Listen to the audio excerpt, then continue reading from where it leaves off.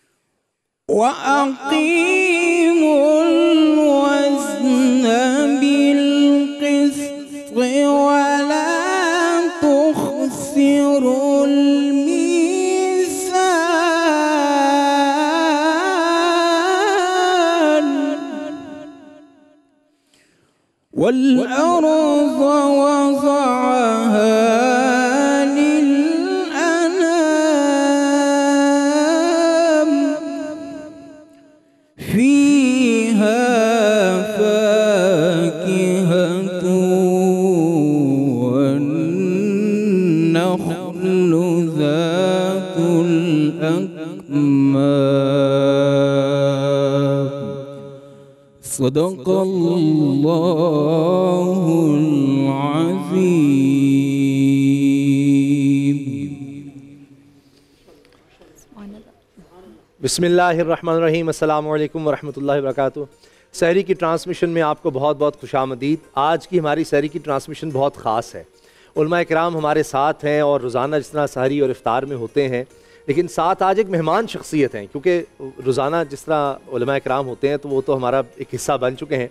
लेकिन आज हमारे साथ हैं फ़रहान अली वारिस साहब, और बड़ी मशहूर शख्सियत, लोग इनको बहुत ज़्यादा पसंद करते हैं, और इनकी शख्सियत के कई पहलू हैं। बतौर होस्ट भी हैं टेलीविज़न पर आपको देखते रहते हैं।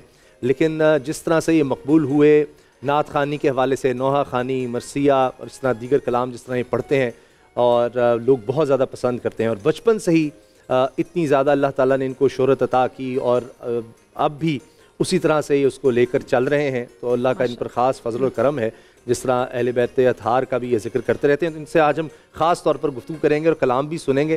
फरानी वारी साहब बहुत बहुत शुक्रिया। आप तशरीफ़ लाए आपकी बड़ी मेहरबानी।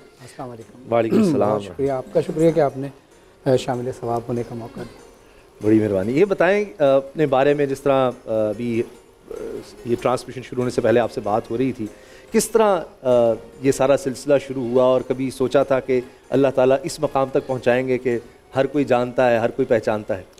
बसमीम देखिए सबसे पहले तो ज़ाहिर है आ, हमारे दादा खुद जाकिर थे वालदा जाकिरा थी तो उनका शौक़ था उनकी ख्वाहिश थी कि मेरे मेरे बच्चों में भी कोई ज़िक्र खुदा ज़िक्र रसूल रसूल करे।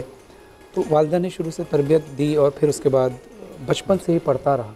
अच्छा और 98 में पहला एल्बम फिर आया। 97 में एक एल्बम आया था जिसका काउंट हम 98 से करते हैं जो प्रॉपर तरीके से हमारा रिलीज़ हुआ। तब से लेकर अब तक तकरीबन तेईस एल्बम तो मेरे मुहर्रम के आ चुके हैं। इसके अलावा नात खानी के हवाले से अलग एल्बम है। और अब तो एल्बम का सिलसिला ख़त्म अब तो यूट्यूब हाँ, हमारा फरहान अली वारिस के नाम से उस पर कलाम आते रहे। तो बचपन से लेकर अब तक का सफ़र यकीन करें पता नहीं चला। अल्ला। और अल्लाह कहता है ना कि तू मेरा ज़िक्र कर मैं तेरा ज़िक्र करूँगा। सुबह तो जहाँ जहाँ रहे मेरा ज़िक्र कर। मैं जहाँ जा रहूँगा तेरा ज़िक्र करूँगा। तो जब तक रहे मेरा ज़िक्र करना। मैं जब तक रहूँगा तेरा ज़िक्र करूँगा। तो बस समझें हमने अल्लाह का ज़िक्र करने की कोशिश की और हक़ तो अदा नहीं हो सका। रसूल का ज़िक्र करने की कोशिश की सल्लल्लाहु अलैहि वसल्लम। अहले बैत सलाम का ज़िक्र करने की कोशिश की हक़ अदा नहीं हो सकता। लेकिन उन्होंने इस हमारी छोटी सी इबादत को भी छोटी सी रियाजत का भी सिला बहुत बड़ा दे दिया। कि पूरी दुनिया में उन्हीं के नाम से पहचाने गए उन्हीं के नाम से जाने गए उन्हीं की नस्बत से जाने गए। तो मैं कहता हूँ कि अल्लाह का जितना शुक्र अदा किया जाए अच्छा फरहान बहुत से लोग आपको आइडियलाइज करते होंगे बहुत से यंगस्टर्स हैं जो आपकी तरह आगे आना चाहते हैं।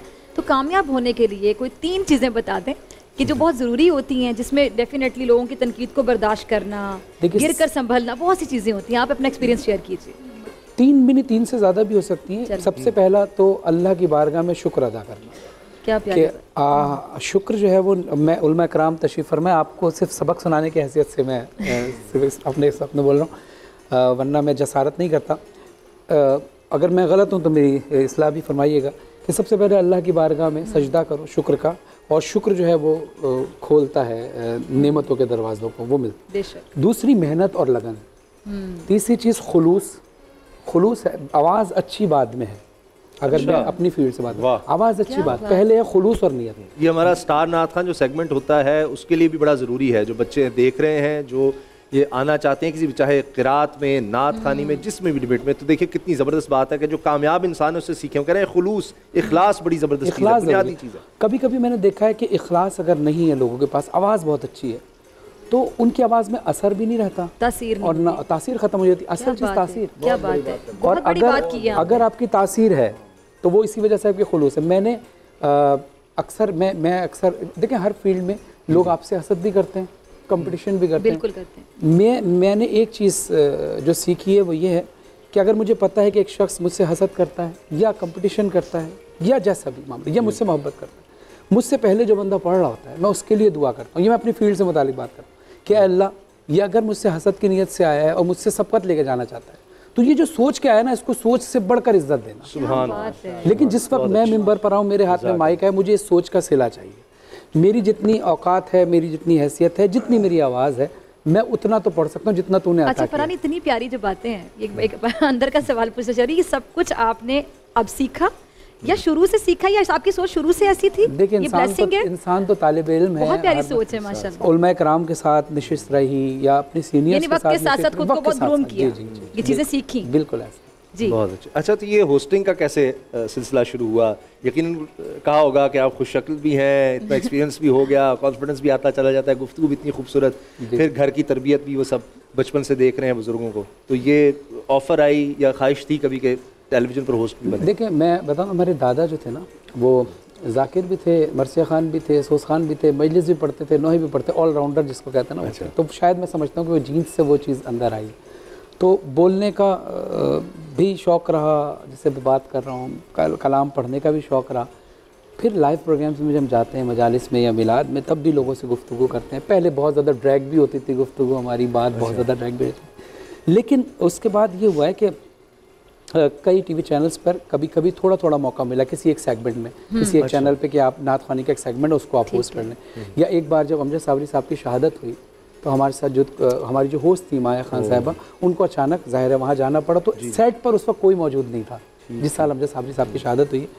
तो ज़ाहिर है मुझे उन्होंने कहा कि आप आई भी पहने और आप उसको होस्ट करें। अच्छा। तो उसके बाद सिलसिला चलता रहा इसको चलता कहते हैं ब्रेक थ्रू मिलना। बिल्कुल कभी भी मिल जाता बिल्कुल ऐसा। ही कभी भी मिल जाता है। वो इनकी बात की खुलूस और नीयत आपका खुलूस और आपकी नीयत ऐसी थी कि मिल गया। मौका मैं भी वैसे ऐसे ही बैठा हूँ ये असल में डॉक्टर साहब ही हैं। उन्होंने कहीं डॉक्टर साहब थकावट का शिकार हो जाती है ना किया ये मेरी छोटी बहन है शर्मिंदा ना थकावट का शिकार हो जाए अच्छा आज मैं आज इतना उसामा भाई इतना असल में यही है। उसामा भाई इतनी मेरी तारीफें कर दी कि वैसे मेरे भाई भी हैं ये और मेरे हस्बैंड के भी बहुत अच्छे दोस्त हैं बड़ा हमें गाइड करते हैं। लेकिन उसामा भाई के बारे में आज मैं बताना चाहती हूँ नहीं, बस, नहीं नहीं मैं मैं अब तो अब अब अब हिसाब करने नहीं एक नहीं, कि मैंने अगर खबरें पढ़ने सीख पढ़ना सीखा तो उसामा भाई उन एंकर्स में से इनको मैं बहुत ज़्यादा वॉच करती थी इनके एक्सप्रेशन ऐसे होते थे खबर आवाज़ बंद करके भी सुनते थे तो अच्छा लगता था। अच्छा ठीक। है जी। यानी आप इतनी छोटी थी तब मैं मैं तो मैं तब से हाँ। खबरें पढ़ रहा हूँ। जब ये इतनी छोटी सी देखे इसने अब मेरी उम्र ने और फरहान भाई ने जो खुलूस की बात की ना वो अल्लाह इकबाल जो फरमाते हैं ना कि दिल से जो बात निकलती है असर रखती है। असर रखती है। पर पर नहीं ताकत परवाज मगर रखती है। सुभान तो असल में फरहान साहब की ये जो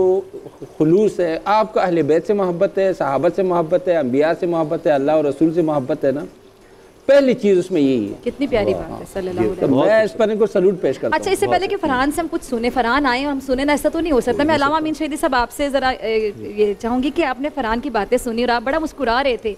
और यकीनी तौर पे जब हमारे जो बड़े होते हैं जो एज में हमसे बड़े हैं वैसे बड़े हैं, तो वो जब अपने से छोटे से इस तरह की बातें सुनते हैं तो उनको बड़ा अच्छा फील होता है। मैं चाहती हूँ आप से सुनकर तो बने हैं। जैसे हाँ, कि लोगों की सोबत से तो तालिब इल्म को सुनकर उस्ताद को बहुत अच्छा लगता है। तालीम इल्म की कामयाबी वो उस्ताद को बहुत अच्छा लगता अच्छा, है जी अलामा साहब मैं चाहूँगी अब जरा फरहान भाई हमारे बहुत प्यारे और अच्छे भाई हैं। इन्होंने जो खलूस की बात की तो मैंने फ़ौरन कुरान खोला। सुभान सुरह नहल की 66 नंबर की आयत है। ठीक जी। जी ज़रा गौर कीजिएगा इस आयत पर। जी।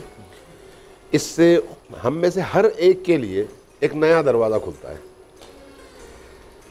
अल्लाह तबारक व ताली का इरशाद है कि व इन फ़िल अनआमी लइबरा।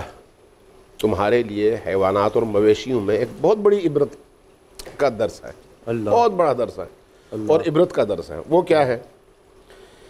नुस्की कुम मिम्मा फ़ी बुतूनी ही मिन बैनी फ़रसिन व दमिन लबनन खालिसा।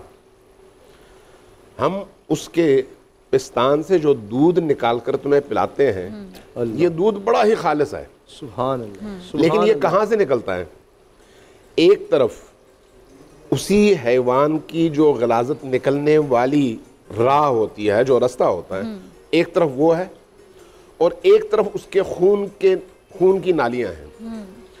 इन दो नजासतों के दरमियान में से दूध की नहर हम बहाते हैं।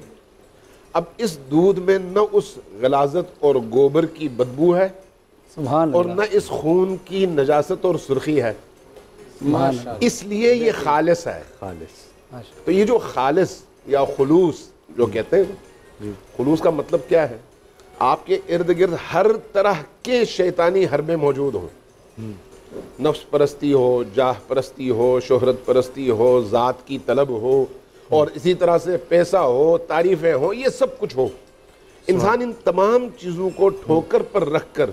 सिर्फ़ अपने रब की खुशी के लिए काम करे तो ये है खालिस तरीन अमल। सुभान उसी दूध की तरह से जिसकी मिसाल अल्लाह तबारक व ताला ने दी बहुत अच्छे। देखिए ये जो इखलास की बात हो रही है कि कलाम वही है जो इखलास से यानी अल्लाह और उसके रसूल को और जिनके लिए पढ़ा जा रहा है उनके लिए उनको पहुँचाने के लिए पढ़ा जाए तो इसी तरह का एक कलाम फरहान वारिस हमारे साथ हों और कलाम ना सुने उनसे सुनेंगे भी। और यही हमारा आज का मौजू भी है अल्लाह को हाजिर नाजिर जानना। तो जब जिसके लिए कलाम पढ़ा जा रहा हो अल्लाह को खुश करने के लिए चाहे रसूल वसल्लम के, के लिए नात हो चाहे अहले बैत का ज़िक्र हो जिसका भी। तो असल मकसद ये है कि वो खुश हों अल्लाह ताला खुश हों। जनाब इसी तरह से। इजाज़त चाहूँगा सर। देखिए अल्लाह ने ये कायनात बनाई और कहा कि रसूल अगर आपको ना बनाता तो ये कायनात ना बनाता। तो गोया हर दौर मेरे रसूल सल्लल्लाहु अलैहि वसल्लम। वो दौर भी और ये दौर भी। ये तो हमारा ईमान है। अब हम बात कर रहे हैं उस दौर की जब ज़ाहरी तौर पर रसूल खुदा सल्लल्लाहु अलैहि वसल्लम जलवा गर थे। उस दौर की मैं बात करने लगा हूँ। काश में दौर पयंबर में उठाया जाता। काश मैं दौर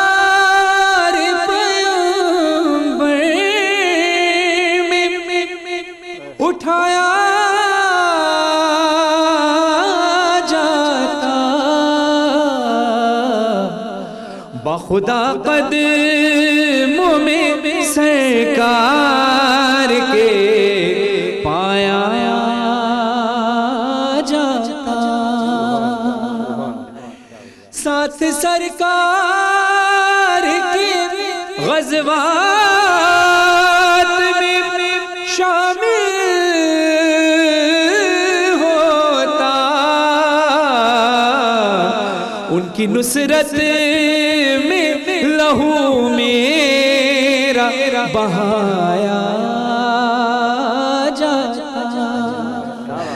काश मैं दौर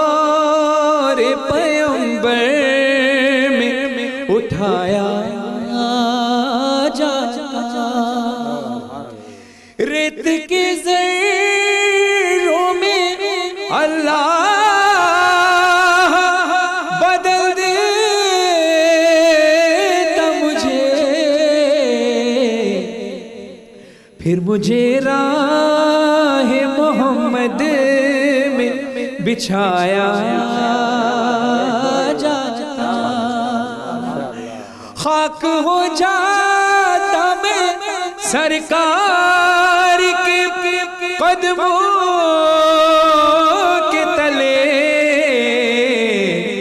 खाक को खाक मदीना में मिलाया जा। के मदीना में जाता अब उसके बाद जब मैं खाक हो जाता फिर मेरी ख्वाहिश क्या थी? मिलके सब लोग मुझे माटी से गारा करते। फिर मुझे मस्जिद नबवी में लगाया जाता। जब मस्जिद नबी बन रही थी। हर शख्स ने जी। हर शख्स ने कोशिश की कि मैं फानूस दे दूँ। मैं हदिया पेश कर दूँ लाइटों का। मैं टाइल्स का हदिया पेश कर दूँ। मेरा दिल ये कहता है कि अगर मैं उस दौर में होता। उनके रोज़े के दरोबा सजाने के लिए रोजनों में मेरी आँखों लगाया जाता। और काश काश मैं होता कोई ऐसी लकड़ी जिसको सरकार के मिंबर में लगाया जाता। आँखों वाला आँखों वाला मुकर्रर आँखों वाला मैं पेश करता हूँ उनके राज़ी के दरोबा सजाने के लिए रोजनों में मेरी आँखों को लगाया जाता। अब जैसे हमारे खान हजरात। हमारी बहन फिज़ा और उसामा भाई इस वक्त सुन रहे हैं। मेरे लिए सादत की बात है और जो लोग इस वक्त टीवी पर देख रहे हैं ये भी मेरे लिए सादत की बात है। लेकिन कहते हैं ना कि इंसान की नीयत भरती नहीं है। मेरी नीयत और ज़्यादा इस चीज़ पर और ज़्यादा मैं ललचा रहा हूँ। किस चीज़ पर? कि काश ऐसा होता मुझ गुनाहगार को ये सादत हासिल हो जाती उस दौर में कि रसूल खुदा मंबर अफरोज़ होते मैं उनकी बारगाह में आता हर शख्स नात का नजराना लेकर आता एक नात खान आता दो नात खान आते तीसरा आता। अब किबला टीवी पर भी और वैसे भी महाफिल में अक्सर होता है एक नाथ खान आता है जितनी देर का उसका वक्त होता है वो पढ़ता है फिर दूसरा नाथ खान आता है या कोई शायर आता है उसको एक महफिल में एक बार मौका मिलता है। मैं वहाँ नाथ खान की हैसियत से नहीं जाना चाह रहा था ना शायर की हैसियत से। मेरा दिल क्या कहता है? या उतरता मैं किसी के मिसरे बन गए रूबरून सुनाया जाता लाया जाता। सर दरबार असीरों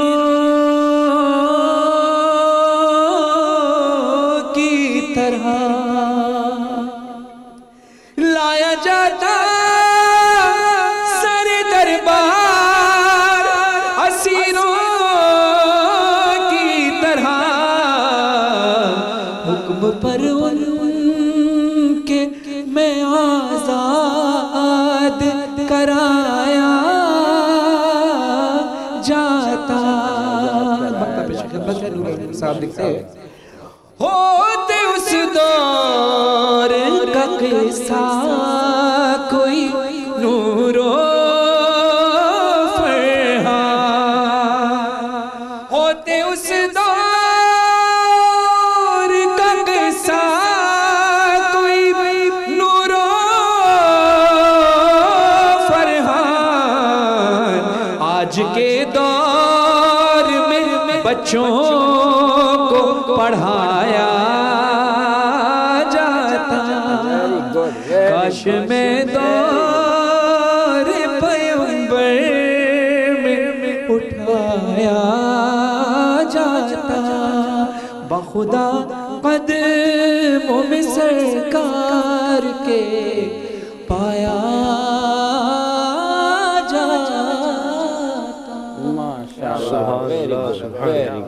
गुड वेरी नाइस तो फरहान किस तरह से तैयारी लोग कहते होंगे जहाँ आपको मिलते होंगे कहते होंगे कोई कलाम सुना दें वो वाला बड़ा आपका मशहूर हुआ इस तरह होता है कि लोग इकट्ठे हो जाते हैं? बहुत बार बहुत बार। फिर मुश्किल नहीं हो जाती कि किसी जगह जा रहे हैं और लोग और अच्छा सुनाते रहे हैं हैं ये खड़े दो, होके सुना जब बच्चे फरमाइश कर दें हाँ ज़रूर लेकिन कभी कभी ऐसी जगहें होती हैं कि जहाँ पर मुनासिब नहीं होता सुनाना। जी जी। जैसे मिसाल के तौर पर आप जहाज़ में खड़े हैं और कोई एक शख्स बोले यहीं सुना दें। तो उस वक्त ज़ाहिर है कि जहाज़ की रूल रेगुलेशन होते हैं। तो मैं कोशिश ये करता हूँ कि जहाँ भी आहिस्ता आवाज़ में सुना दूँ लेकिन कोशिश करता हूँ कि सुना दूँ क्योंकि एक इंसान बड़े दिल से ये क्योंकि ये लोग ही तो मोहब्बत करते हैं और इनका प्यार ही है। और न जाने किसके लबों से निकली हुई दुआ किस वक्त कबूल हो जाए। अगर उसका उसका एक दिल टूट गया तो मैंने एक चीज़ बड़ी सीखी थी कि एक मशहूर शख्सियत थे। तो लंदन में एक जगह से गुजर रहे थे तो मैंने उनसे सलाम किया। अच्छा चूँकि वो ज़ाहिर है मुझे नहीं जानते थे तो एक शौक़ था मैंने सलाम किया तो वो किसी बातों में मशगूल थे। लेकिन उन्होंने सलाम किया और रूटीन में सलाम किया, चले गए तो मुझे एक चीज़ फील हुई। मैंने कहा, अगर ये मुस्कुरा कर सलाम का जवाब दे देते तो मेरा दिल बढ़ जाता।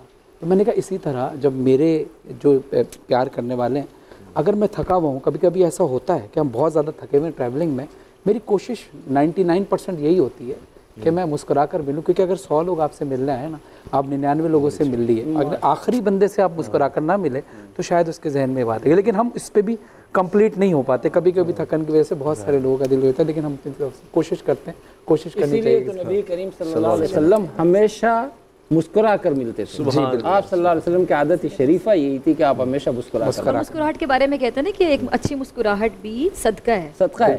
स्माइल हदीस है। एक दूसरा सदका एक तो आप सदका दे रहे हैं, एक आप किसी उसके काम आ रहे हो, एक आप जो है ना हंस कर मिलते हैं। उसामा भाई कैसे हैं? तो बस इसे आपने उनको अच्छा बहुत कुछ वैसे आप सब अग्री करेंगे आप भी सबके फरहान ने आके ऐसा समा बाँध दिया। एक तो ये और दूसरी बात इतनी प्यारी बातें आप करते हैं मैं तो ऑनियर कहना चाहूँगी मैं आपकी फ़ैन हो गई पहली बार मुलाकात हुई आपसे और इतनी प्यारी आप बातें करते हैं मतलब हर कोई नहीं करता ऐसी बातें। देखिए मेरा इसमें इसमें कोई कमाल नहीं है, माशाल्लाह बहुत अच्छी है तरबियत है आपकी तरबियत बल्कि मैं समझता हूँ कि आप लोग जिस तरह से मेहमानों की इज़्ज़त अफजाई फरमाते हैं तो यहाँ पर अमीर कायनत अमीरमिन इबन अबी तालिब फरमाते हैं कि लोगों की हौसला अफजाई करो उनके लिए अच्छे अल्फाज इस्तेमाल करो क्योंकि ये जो हौसला अफजाई होती है ना ये शबनम के कतरों की मानद होती क्या है। बात है। जो बाहिर होती तो बहुत कम है लेकिन ये ताजगी बख्शती है। हर इंसान जो है वो चाहता है कि उसकी तारीफ़ की जाए। ये तो सुन्नत परवरदिगार है। अल्लाह ने भी ये कायनात बनाई तो अल्लाह भी चाहता है कि उसकी हमदो सना हो तो ये और ये हर इंसान के अंदर ज़ाहिर एक सिफत मौजूद होती है जो परवरदिगार आलम- आलम ने अता की चले इन्हीं खूबसूरत बातों को आगे बढ़ाते हैं और हमारा आज का मौजू आलिम के बोल का बाकायदा आगाज़ बोल का हैं। बाकायदा आगाज़ करते हैं और फरहान ने जिस तरह से कहा कि भाई इन्हीं उलमा की महफिल से इन्होंने ये सब कुछ सीखा है। तो हमारी खुशबख्ती है कि फरहान वारिस हमारे साथ रहेंगे और उम्मीद करते हैं कि इन जिस तरह हम रोज़ाना के साथ बैठ कर आज हमारे मेहमान भी हैं तो ये भी इस तरह से हमारा साथ साहब, देंगे आज का टॉपिक हमने। नाजरीन को अभी तक हाँ नहीं जी बताया। अल्लाह को हाजिर नाजिर जानना। तो ये जिस तरह से बात हो रही है मुस्कुराहट की सारी अ, मुफ्ती नवीद अब्बासी साहब ये जो अल्लाह को हाजिर नाजिर जानना है अगर ये कॉन्सेप्ट हम किस तरह अपने अंदर लेकर आए? क्योंकि ये अगर रहेगा तो चाहे मुस्कुराहट की बात हो रही है, चाहे इखलास की बात हो रही है तो हर वक्त जब ये होगा कि खालिक अल्लाह ताला जहन में होगा तो ये नहीं इसका मतलब हम अल्लाह की महफिल में वो वो ज़िक्र भी एक तरह से अमल के साथ हो रहा होगा। फ़र्ज़ करूनी अस्करुकुम वाला मामला होगा। महमद रसली रसूल करीम अम्माबाद बिसमीम बहुत शुक्रिया आपका।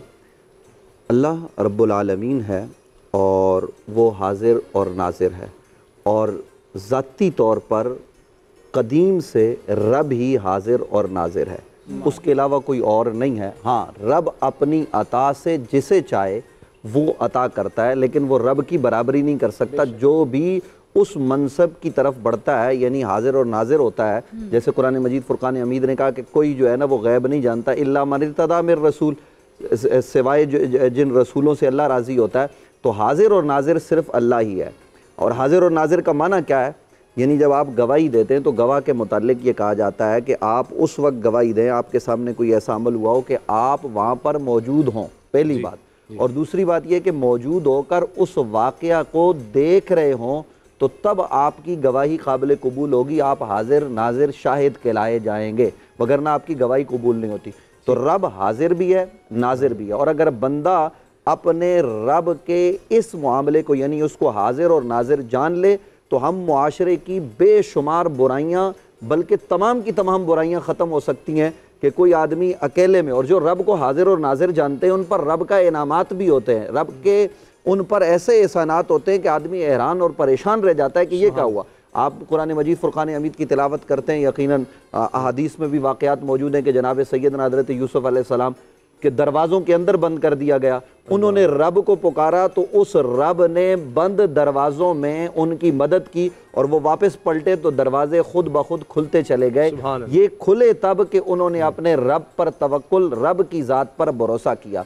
अल्लाह तबारक व ताली तो वो है जो हाजिर और नाजिर भी है और हाजिर और नाजिर होकर वो देख भी रहा है और वो जो जि, जिस माने में हम हाजिर और नाजिर समझते हैं उससे ज़्यादा है। इन अल्लाह। अलीम बिदात सुदूर। रब तो सीनों में छुपे हुए राजों को जानता है। वो जो हम कहते नहीं है रब उसको भी जानता है। तो अगर आज के इस पुरफितन दौर में हम फितनों से बचना चाहते हैं हम किसी का हक गसब करते हैं और हम ये समझते हैं कि जनाब ये हमने हक गसब कर लिया किसी को पता नहीं चला अगर हम ये तस्वुर कर लें किसी को पता लगे ना लगे मैं सेट पर बैठा हुआ उसामा भाई की कोई चोरी कर लेता हूँ या इनके साथ कोई मैं दो नंबर ही कर लेता हूँ तो उसामा भाई को पता चले ना चले बोल चैनल को कैमरे लगे होने के बावजूद पता चले या ना चले एक कायनात की हस्ती ऐसी है वो हमारा रब है वो खालिक है वो मालिक है वो इस बात को देख रहा है कि जब हम ये तस्वुर लाएँगे तो फिर मैं कोई ऐसा बुरा अमल सर अंजाम नहीं दूँगा। अच्छा नहीं अहम बात छेड़ दी है ना। प्रोफेसर साहब से पूछ मेरे जिम्मे सवाल है आपकी इजाज़त से। प्रोफेसर साहब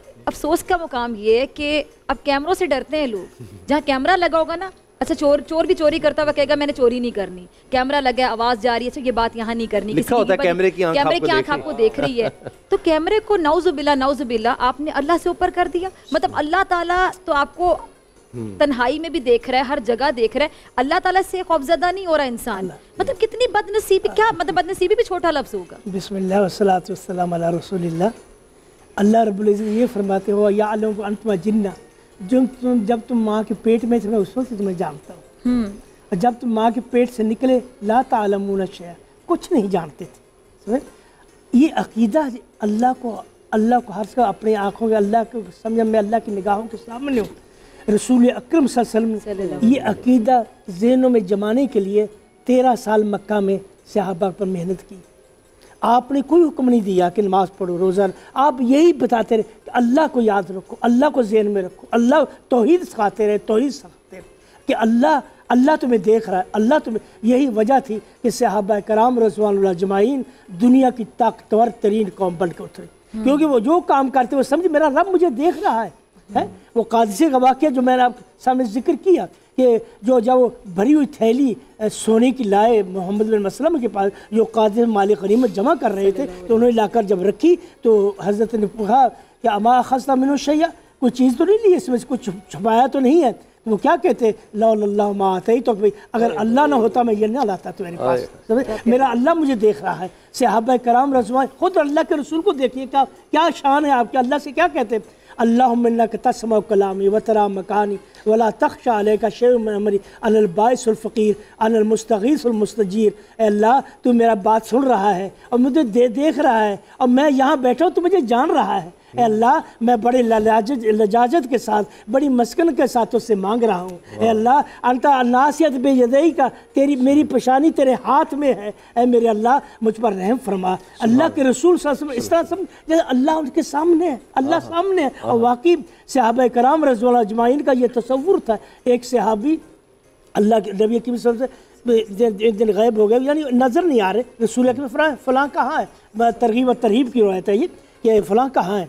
तो लोगों ने कहा कि हज़रत वो तो घर में बैठे रोते जा रहा रोते जा रहा रोए जा रहा रोए जा रहा। तो अल्लाह की खशी तो उस पर इतनी श- जारी हो गई है कि वो समती नहीं तो घर से निकल नहीं रहा रोते जा रहा। नबी करीम वसल्लम आए उसकी ज़्यारत उनके मुलाकात के लिए तो जब आए तो देख बैठा हुआ यानी बेहस बैठा हुआ रोए जा रहा रोए जा रहा रोए जा रहा। तो नबी करीम से उसको उठाया अपने सीने से लगाया। जैसे सीने से लगाया फ़ौरन उसकी जान निकल गई। रसूल इन खशियत फतत कल्बहु। अल्लाह की खशी ने इसके दिल को फाड़ दिया। टुकड़े टुकड़े कर दिए इतना अल्लाह। साहब कराम रसूल अजमाई वो देख रहे वो कितने अजीम लोग थे। वो समझे जो कुछ हम कर रहे हैं हमारा रब हमें देख रहा है। अल्लाह। जो कुछ हम कर रहे हैं हमारा रब ये देख रहा है। इसीलिए हज़रत अबू उमर उमर अन्हु जो अमीर मोमिनीन हैं समझे? जिनकी हुकूमत मदीना से लेकर मिस्र तक है। जी। मिस्र तक मिस्र से लेकर ईरान तक है इराक तक है समझा वो जब एक रात निकलते हैं देखा कुछ लोग वहाँ बड़े सर्दी का मौसम है मदीना के बाहर है तो जब जाके हज़रत अपने गुलाम अस, असलम से कहने लगे देखिए ये लोग कौन है? जरा देखते हैं तो हम देखा कि वो उनमें से कुछ लोग थे और एक औरत दर्द ज़े से करा रही थी। आपने फरमाया क्या हो गया? हज़रत एक औरत है जो कि बच्चा जन्म करने की हालत में है दर्द जहन में है। हज़रत फ़ौरन आए अपने घर अपनी बेगम को लिया उम्म कुलसुम को लिया जो हज़रत अली की बेटी हैं उनको लिया साथ और ला कर वहाँ गए और उनके लिए खाना पीना बच गया और उनके लिए उन वहाँ बच्चा हुआ यार। और उनको नहीं बताया मैं अमीर मोमिनीन हूँ। है? और जब हो गया बच्चा हो गया पैदा हो गया फिर फरमाती है अमीर हई अल्लाह का अल्लाह लाजा को तिफल अमीर मुबारक अल्लाह ने उसको बेटा दिया। फिर उस औरत को पता चली जो अमीर मोमिनीन है। उनका जो अमल था अल्लाह के लिए था। अल्लाह की खातर। अल्लाह देख रहा है। एक अल्लाह। वाक़ है हज़रत का कि हज़रत तला बिन उबैदुल्लाह फरमाते तला बिन उबैद फरमाते हैं एक रात मैंने उमर रज़ी अल्लाह तआला के घर में दाखिल होते हुए देखा मदीना में। तो मैं रात के अंधेरे में हज़रत वहाँ घर में दाखिल हो रहे हैं। मैंने, मेरे दिल में बड़े बुरे बुरे ख्याल आए। ये साहब जो दिन में हमें ऐसी ऐसी बातें करते हैं, रात में लोगों के घरों में चोरी चोरी जा दाखिल होते हैं, उन्होंने उस घर की निशानी लगा ली कहा, मैं देखूँगा इस, क्या मसला है? जब सुबह हुई, उस घर में गए। देखा कि वहाँ एक औरत फालिज ज़्यादा पड़ी हुई है। हज़रत फरमाया, ये जो आदमी रात आता है, ये क्या करता है? कहती बेटा ये मैं आके मेरे कपड़े धोता है। मुझे मेरी जरूरियात पूरी करता है समझे? अब देखो वो तो तमन्ना नहीं अल्लाह की जान। अल्लाह देख रहा है। यानी जो नेकी की अल्लाह की रजा के लिए की जो कुछ किया कोई नहीं जानता। समझे? उनके लिए ही करते। तो ये चीज़ जो है ये इस- इसी चीज़ को सहाबा कराम ने अजीम बनाया। इसको अजीम बनाया क्योंकि वो समझ रहे थे कि हम अल्लाह के सामने हैं अल्लाह हमें देख रहा है। बहुत तो ये अल्लाह ताला ऐसी महफिल पे भी खुश होते हैं मुफ्ती मोहम्मद साहब कि अल्लाह ताला देख रहे होते हैं कि मेरा मेरे हबीब का मेरे प्यारों का यहाँ ज़िक्र और ऐसी महफिल में अल्लाह खुश होते हैं। तो ये बताएँ कि नमाज़ के वक्त ख़ास तौर पर जो हदीस पाक आती है कि तुम अल्लाह को देख रहे हो वरना ये तो यकीन रखो अल्लाह तुम्हें देख रहा है। तो ये मोमिन की मेराज वो एक ख़ास लम्हा होता है। वैसे तो अल्लाह ताला हाजिर और नाजिर है शार्क से भी ज़्यादा करीब है लेकिन नमाज़ में ये कोई ख़ास कैफियत हो जाती है। बिस्मिल्लाहिर्रहमानिर्रहीम। आपने अपने सवाल में ना मुझे काफ़ी सारे हुक्म दे दिए। अच्छा। काफ़ी सारे सवाल गए अब आप- सवाल में। आप समेट लेंगे देखिए नमाज़ जो है वो एक ऐसी इबादत है कि नमाज़ की तरफ़ अगर आप आए ना तो नमाज़ को मोमिन की मेराज क्यों कहा गया है? नमाज़ एक मुसलमान की मेराज क्यों है? आप देखें जब कहते हैं ना अल्लाह अकबर हाथ खड़ा करते हैं तो इसका मतलब क्या होता है? हाथ खड़ा करना सरेंडर हो गया ये बंदा। उसके बाद जब आप अदब से खड़े होते हैं तो सबसे पहले आप खुशामद करते हैं आप तारीफ़ करते हैं। अल्हम्दुलिल्लाह रब्बिल आलमीन अर्रहमान रहीम मालिक यौमिद्दीन। और जब आप ये कहते जाते हैं तो आपके साथ एक फ़रिश्ता खड़ा होता है। हर बात का जवाब देता चला जाता है। और जब आप कहते हैं ना वलद्दालीन तो फ़रिश्ता कहता है लका मा सालता इसे कह दे। मेरे इस बंदे को कह दे कि आज जो तूने अंदाज़ अपनाया ना हमारी तो नमाज़ में खैर तवज्जो नहीं होती हमारी वो नमाज़ ही नहीं है। आए, आए, आए। तो नमाज़ में जो तूने अंदाज अपनाया मेरी तारीफ़ करने का सबसे पहले हाथ उठा दिए। हाथ उठाने के बाद तूने मेरी तारीफ़ की। और जब कहा ना वलद्दालीन अपनी हिदायत की दुआ मांगी। और ये भी कहा कि मुझे उनकी तरह भी ना करना जो गुलू इख्तियार कर गए उनकी तरह भी ना करना जो इफ़रात इख्तियार कर गए। यहूदों ने सारा से बचा के या अल्लाह मुझे सीधे रास्ते पे रखना। तो लक अमा आलता मेरा बंदा जो मांगेगा मैं इसे दे दूँगा। सुबह उसके बाद ये मजीद कुरान पाक की तिलावत करता है। वो कहते हैं ना कि जब कोई बंदे के सामने आप बिल्कुल अपना सरेंडर होना चाहें तो आप उसके सामने झुक जाते हैं। फिर बंदा घुटनों पर आ जाता है। आए हाय कहते हैं फलां हाँ, फलां के सामने घुटनों पर आ गया। अब मुझे बताएँ कि एक बंदा खड़े होकर आपकी तारीफें करे करे। आप जितना मर्ज़ी गुस्से में हो। तो जब वो घुटनों पर आपके सामने आ जाए तो आपको तरस आएगा या नहीं आएगा? ये पाँच मरतबा अल्लाह पाक जो अपने बंदे को अपने सामने बुलाता है तो अगर आपको उसामा गाजी को तरस आता है डॉक्टर फिजा को तरस आता है डॉक्टर वली मुजफ्फर को आता है तो अल्लाह तो कहीं ज़्यादा करीम और रहीम है। अच्छा वहाँ जाकर आप तारीफ़ करते हैं सुबहान रब्बियल अजीम। एक अजीम का लफ्ज़ है अजीम नहीं पढ़ना चाहिए। ये शामी का फतवा भी है। या तो आप अजीम कहें या सुबहान रब्बियल करीम कहें। अच्छा। अच्छा उसके बाद आप खड़े होते हैं। समी अल्लाह लिमन हमिदा हम्द हम्दन कसीरन तय्यबन मुबारकन फ़ी। इस जुमले से भी एक बात आ गई कि जब एक सहाबी ने हुजूर सल्लल्लाहु अलैहि वसल्लम के पीछे ये कहा ना अल्लाहुम्मा रब्बना लकल हम्द हम्दन कसीरन तय्यबन मुबारकन फ़ी। तो नबी पाक सल्लल्लाहु अलैहि वसल्लम ने सलाम फेर कर कहा भाई ये जुमला किसने कहा? अब वो खामोश हो गए कि शायद मुझसे गलती हो गई। फिर पूछा अब जवाब ना दे तो गुनागार होते हैं क्योंकि अल्लाह के रसूल पूछ रहे हैं? तो हाथ खड़ा किया घबरा के या रसूल्ला मैंने कहा। तो फरमाए भाई मुबारक हो। आपने ऐसा जुमला कहा अपनी तरफ़ से कह दिया लेकिन वो नमाज़ का हिस्सा बन गया कि अल्लाह ने तुम्हारी इस मोहब्बत में इस जुमले की मोहब्बत में आसमान से इतने फरिश्ते उतारे कि वो तुम्हें अपना हाथ से मस कर रहे हैं।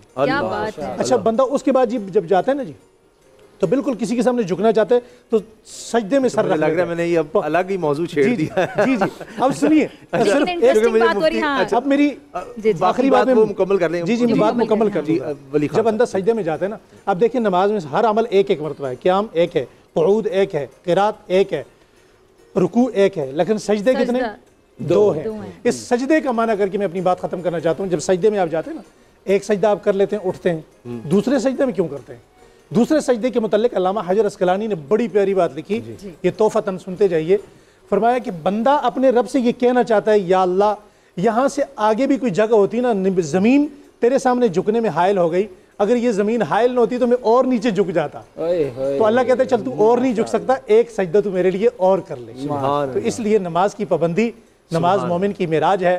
और मन तरक सलात मुतमिदन फ़कत कफर। अगरचे उनवान ये नहीं था आपने इस उनवान पर छेड़ दिया। और ये हाजिर नाजर का तस्वर ही इंसान को हाजिर नाजर का तस्वर ही इंसान को अल्लाह के सामने इस तरह की इबादत के लिए खड़ा कर सकता है। अल्लाह। ताला पूरी कौम को पाँच वक्त की नमाज़ बाजमात तकबीर उला के साथ पाबंदी के साथ खुशू खुजू के साथ पढ़ने की तोफीक मुफ्ती वली की तरफ़ आप जाना वली खान साहब ये अल्लाह सूरह निसा में भी कि अल्लाह ताला हर चीज़ का मुशाह फरमाते हैं। हर चीज़ का मुशाहिदा फरमाने वाला। तो ये हर वक्त अल्लाह ताला एक एक चीज़ और दिलों में भी जो ख्याल है तसव्वुर में भी होता है वो भी। अल्लाह पाक जो है ना वो कुरान करीम में कई आयतों में और अहादीस में कई जगह आया है कि कोई चीज़ इतनी मख्फी हो कि वो सात पर्दों में हो सात हज़ार पर्दों में हो सात लाख पर्दों में हो ना यति बेहल्ला अल्लाह। उसको खोल कर बयान कर देगी। तो लिहाजा अगर दिल में कोई चीज़ है ख्याल है या कोई अमल है, या कुछ भी ऐसा है। हज़रत उमर रज़ी अल्लाह तु का तस्करा हुआ। हज़रत उमर ही के ज़माने में आप देखें कि आपने हुक्म फरमाया था कि दूध में पानी न मिलाया जाए। तो एक खातून अपनी बेटी से कहती है कि यहाँ तो अमीर मुमिन नहीं है। तो उन्होंने कहा अमीर मोमिनीन तो नहीं देख रहा लेकिन उसका रब तो देख रहा है।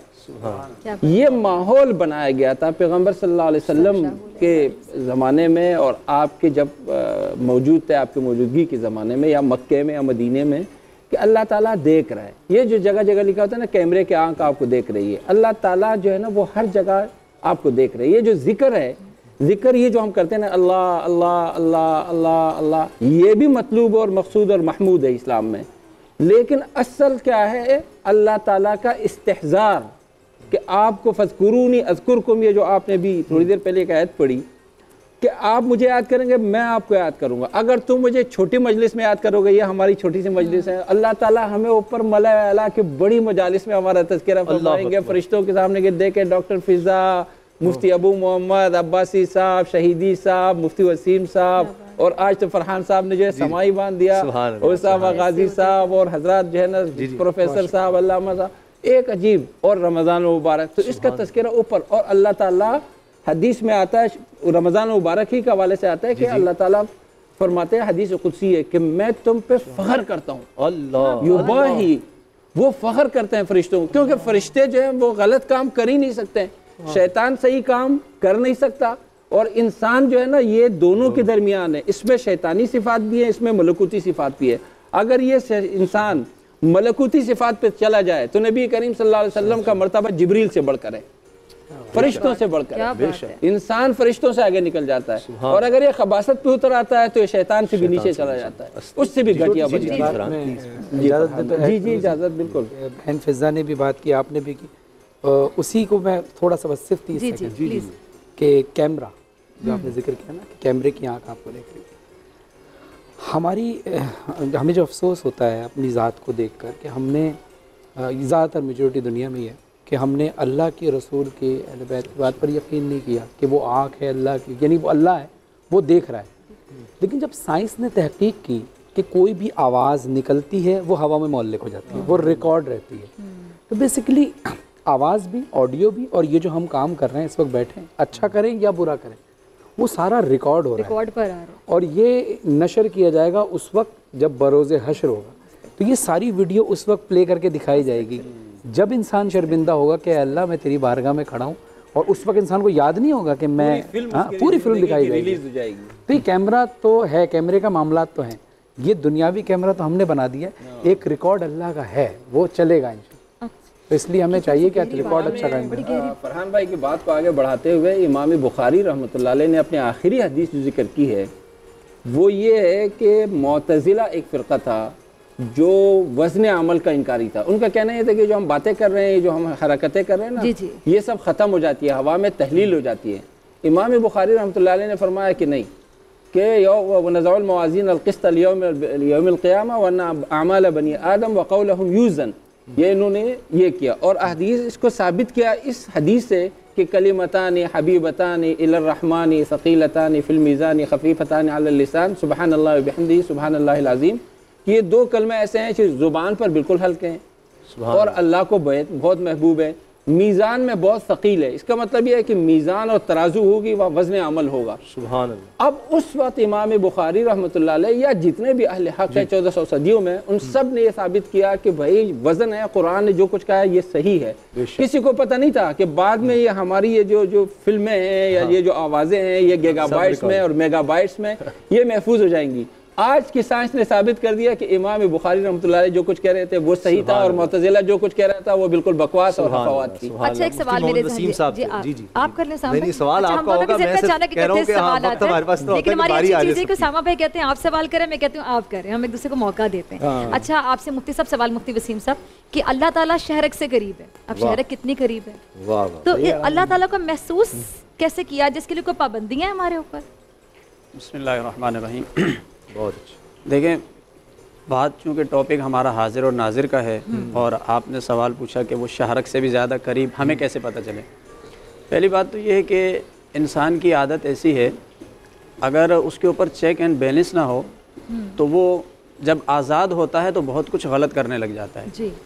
अगर उसके ऊपर कोई सिक्योरिटी लगा दी जाए और उसको चेक किया जाता हो तो फिर वो थोड़ा संभल कर चलता है। ये जो हाजिर और नाजिर का तसव्वुर है ना ये क्यों हमें पुख्ता करवाया जा रहा है या आज हम इस पर क्यों गुफ्तु करते हैं? या दीन इस्लाम ने क्यों ये तसव्वुर दिया?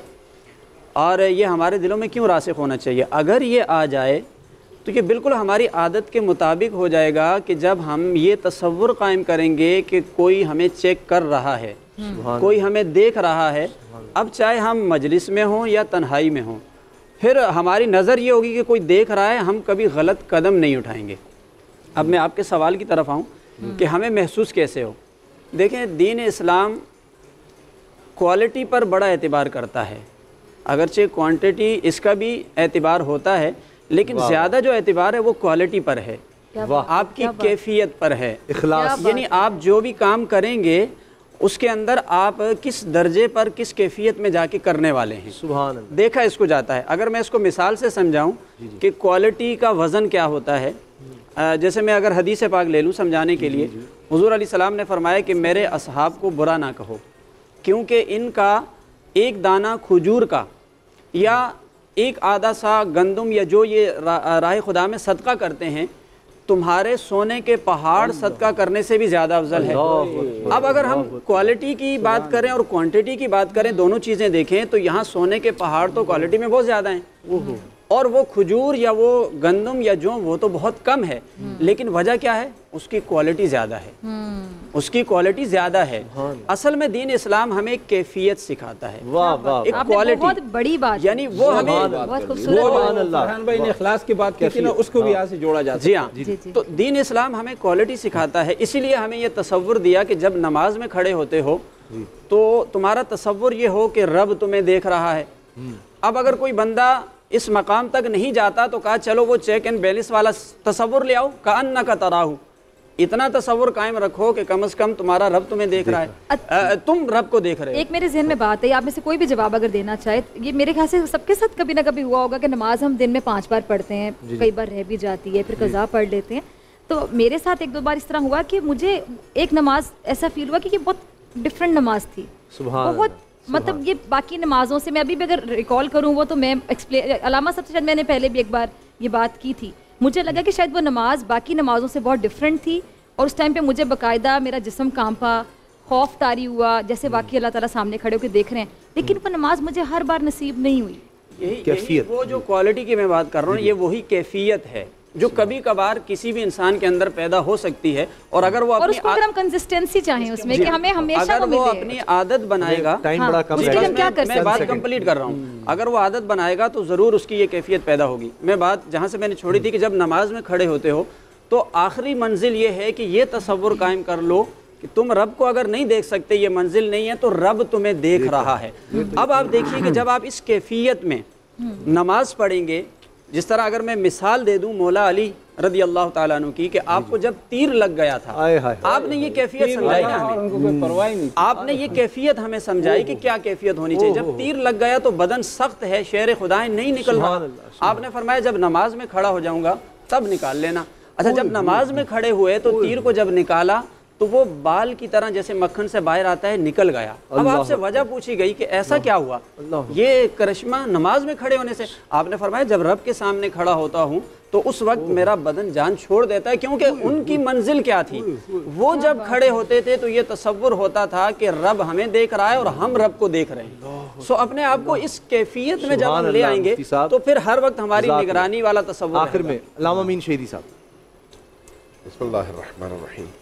ये शहीदी साहब से पहले मैं जरा डॉक्टर एक एक एक जी, एक मिनट डॉक्टर तो- फिजा ने जो सवाल किया यही सवाल नबी करीम सल्लल्लाहु अलैहि वसल्लम से एक सहाबी ने किया कि मेरे बाद मरतबा इस तरह की कैफियत होती है।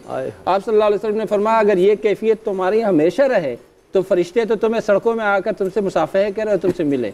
ये हमेशा नहीं रहती ये वक्ता होता है सातन फसातन ठीक। देखिए बुनियादी तौर पर इंसान की रूह में अल्लाह तबारक व ताली ने ये ताकत रखी है कि जितनी इसमें निखार आए रोशनी आए नूरानियत आए वो उतनी ही बुलंद होती चली जाएगी। माशाल्लाह। और जितनी बुलंद होती चली जाएगी उतनी ज़्यादा इस रूह के अंदर खुदाई सिफात पैदा होती चली जाएँगी। इसलिए हमें कहा गया तखल्लकू बे अखलाक़ल्लाह अपने आप को अखलाक खुदाबंदी से आरास्ता करो। इसका मतलब खुदा बनना नहीं है नौज़बिल्ला जब आप रसूल करीम को देखते हैं तो अल्लाह की सिफ़ात के मज़हर के तौर पर देखते हैं। यानी अल्लाह की करीमियत रसूल में नज़र आती है अल्लाह की रहमानियत और रहीमियत रसूल में नज़र आती है अल्लाह की सत्तारियत रसूल में नज़र आती है। रहीम। जी जो जितना रसूल के करीब तर होगा उसमें उतनी ज़्यादा वो सिफात जलबगर होंगी।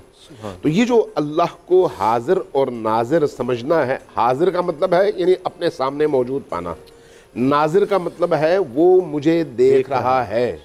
अब ये जो तस्वुर है कि वो मेरे सामने है मेरे सामने का मतलब क्या उसका रुख है? नहीं वो मेरे चारों तरफ़ है। वो मेरे ऊपर नीचे यानी किसी समत का तयन में नहीं कर सकता। चूँकि जहाँ किसी वजूद का तस्वुर हो सकता है, वहाँ पर वो है। और उसी तरह से वो मुझे देख भी रहा है। जब वो मुझे देख रहा है, मैं जानता तो हूँ, मैं और आप सब जानते हैं, लेकिन क्या वाकई मुझे, मेरा ईमान भी है? सवाल ये है कि ये जो ईमान है, ये ईमान इंसान को फिर मुखालफत से रोकती है। जहाँ पर ये ईमान कमज़ोर हो, वहाँ पर जानने के बावजूद इंसान परवाह नहीं करता। आपको ये मालूम है कि इशारा सुर्ख है, लेकिन जब आपको पुलिस वाले नज़र आए तो रुकते हैं। पुलिस वाले नज़र ना आए तो गुजर जाते हैं। लेकिन उस इशारे को रोकना चाहिए था अब तो वो जो ई चलान का सिस्टम आ गया ना वो वो भी सही है ना कि घर चलान वो वो आहिस्ता आहिस्ता होगा अभी। वैसे लाहौर में तो है हमारे। अल्लाह का सिस्टम आपके घर चलान आ जाता है ना? करीब आती जा रही है अल्लाह का सिस्टम भी तेज होता जा रहा है। बिल्कुल बड़ी तो इसमें ये बात। जहन में रखनी चाहिए कि हम पुराने करीम को जितना गौर व फ़िक्र से पढ़ेंगे सोच कर तदब्बर से। हम उसकी आयात में इन बारीकियों को समझते चले जाएँगे। हमारी रूह जो है इस रूह के अंदर ये सलाहियत मौजूद है कि अगर हम आईना बन जाएँ आईना तो हमसे गुनाह सरजत नहीं होगा। अल्लाह। इंसान जो कुछ करता है अल्लाह की बारगाह में खड़े होकर साहब करता की भी क्वालिटी इख्तितामी जो मैटर करती अल्फाज ना। उनके वाले हज़ारों दर्जात हज़ारों हज़ारों दर्जात हैं। एक शख्स हमारी तरह से सबसे निचले दर्जे पर है। एक शख्स हो सकता है आला तरीन दर्जे पर हो। जो आला तरीन दर्जे पर है उसको तो हम ख्वाब में भी नहीं देख सकते। वो कितना आला है। इसलिए जिन हस्तियों के बारे में हमें समझाया गया है उन हस्तियों के ईमान को हम तोल नहीं सकते। हमें थोड़ा सा अपने आप को तोलने की ज़रूरत है कि हम कहाँ पर खड़े हैं।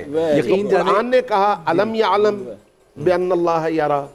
क्या तुम नहीं जानते कि अल्लाह तुम्हें देख रहा है। यही तस्वुर सिर्फ़ कि अल्लाह मुझे देख रहा है।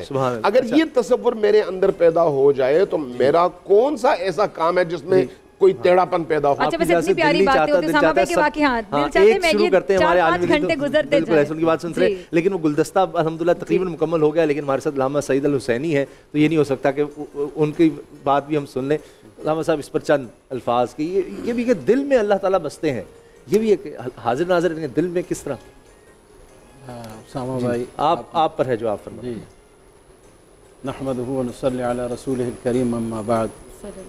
ये जो हम हदीस सुनते हैं वाबुद रब का अन्न का तराह फ़िल्म तकुन तराह फ़िन यराक तो इबादत जो है ये सिर्फ़ नमाज़ पढ़ना नहीं है। सुबह इबादत सिर्फ़ नमाज़ पढ़ना नहीं है बल्कि यहाँ पर वाबुद रब का जब आप अपने रब की इबादत करते हैं आप ज़क़़त देते हैं ये भी अल्लाह की इबादत है। आप हज करते हैं ये भी अल्लाह की इबादत है। आप किसी के साथ देख सलूक करते हैं वो भी इबादत है। आप यतीमों के अ, सर पर हाथ रखते हैं वो भी इबादत है। आप सदक़ात देते हैं वो भी इबादत है। और इस तरीके से रोज़ा रखना ये भी इबादत है। तो वाबुद रब का का अन्न का तरह आप अपने रब की इबादत। करें। बहुत अच्छी। तो गोया कि आप अल्लाह को देख रहे हैं। फ़िल्म तकुन तरा फ़ैन यारा। तो तमाम चीज़ों के अंदर हम अल्लाह के साथ ये नीयत करें और अल्लाह के अपने दिल के अंदर ये बात डालें कि अल्लाह हमें हर हालत के अंदर देख रहे हैं। अल्लाह। चाहे हम जो भी इबादत कर रहे हैं जो भी अमल कर रहे हैं वो तमाम आमाल इबादत में शुमार हैं।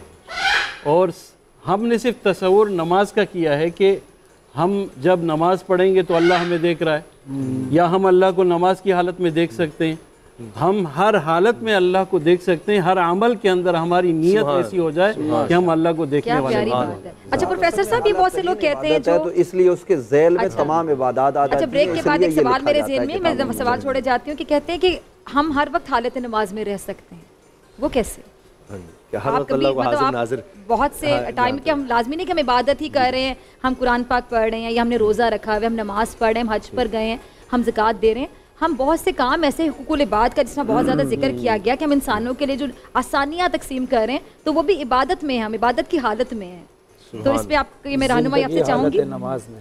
बिल्कुल मैं अभी ब्रेक ब्रेक हम ले रहे हैं। ब्रेक का कहा जा रहा है। ब्रेक के बाद हाँ जी फरहान फरहान हमारे साथ हैं फरहान वारिस साहब और इस सवाल का जवाब इंशाल्लाह टाइम हमारे पास ब्रेक के बाद। ज़रूर आज टाइम वैसे बड़ी जल्दी गुजर है लेकिन ये कितने दिल चाह रहा है कि प्रोग्राम और लंबा हो जाए।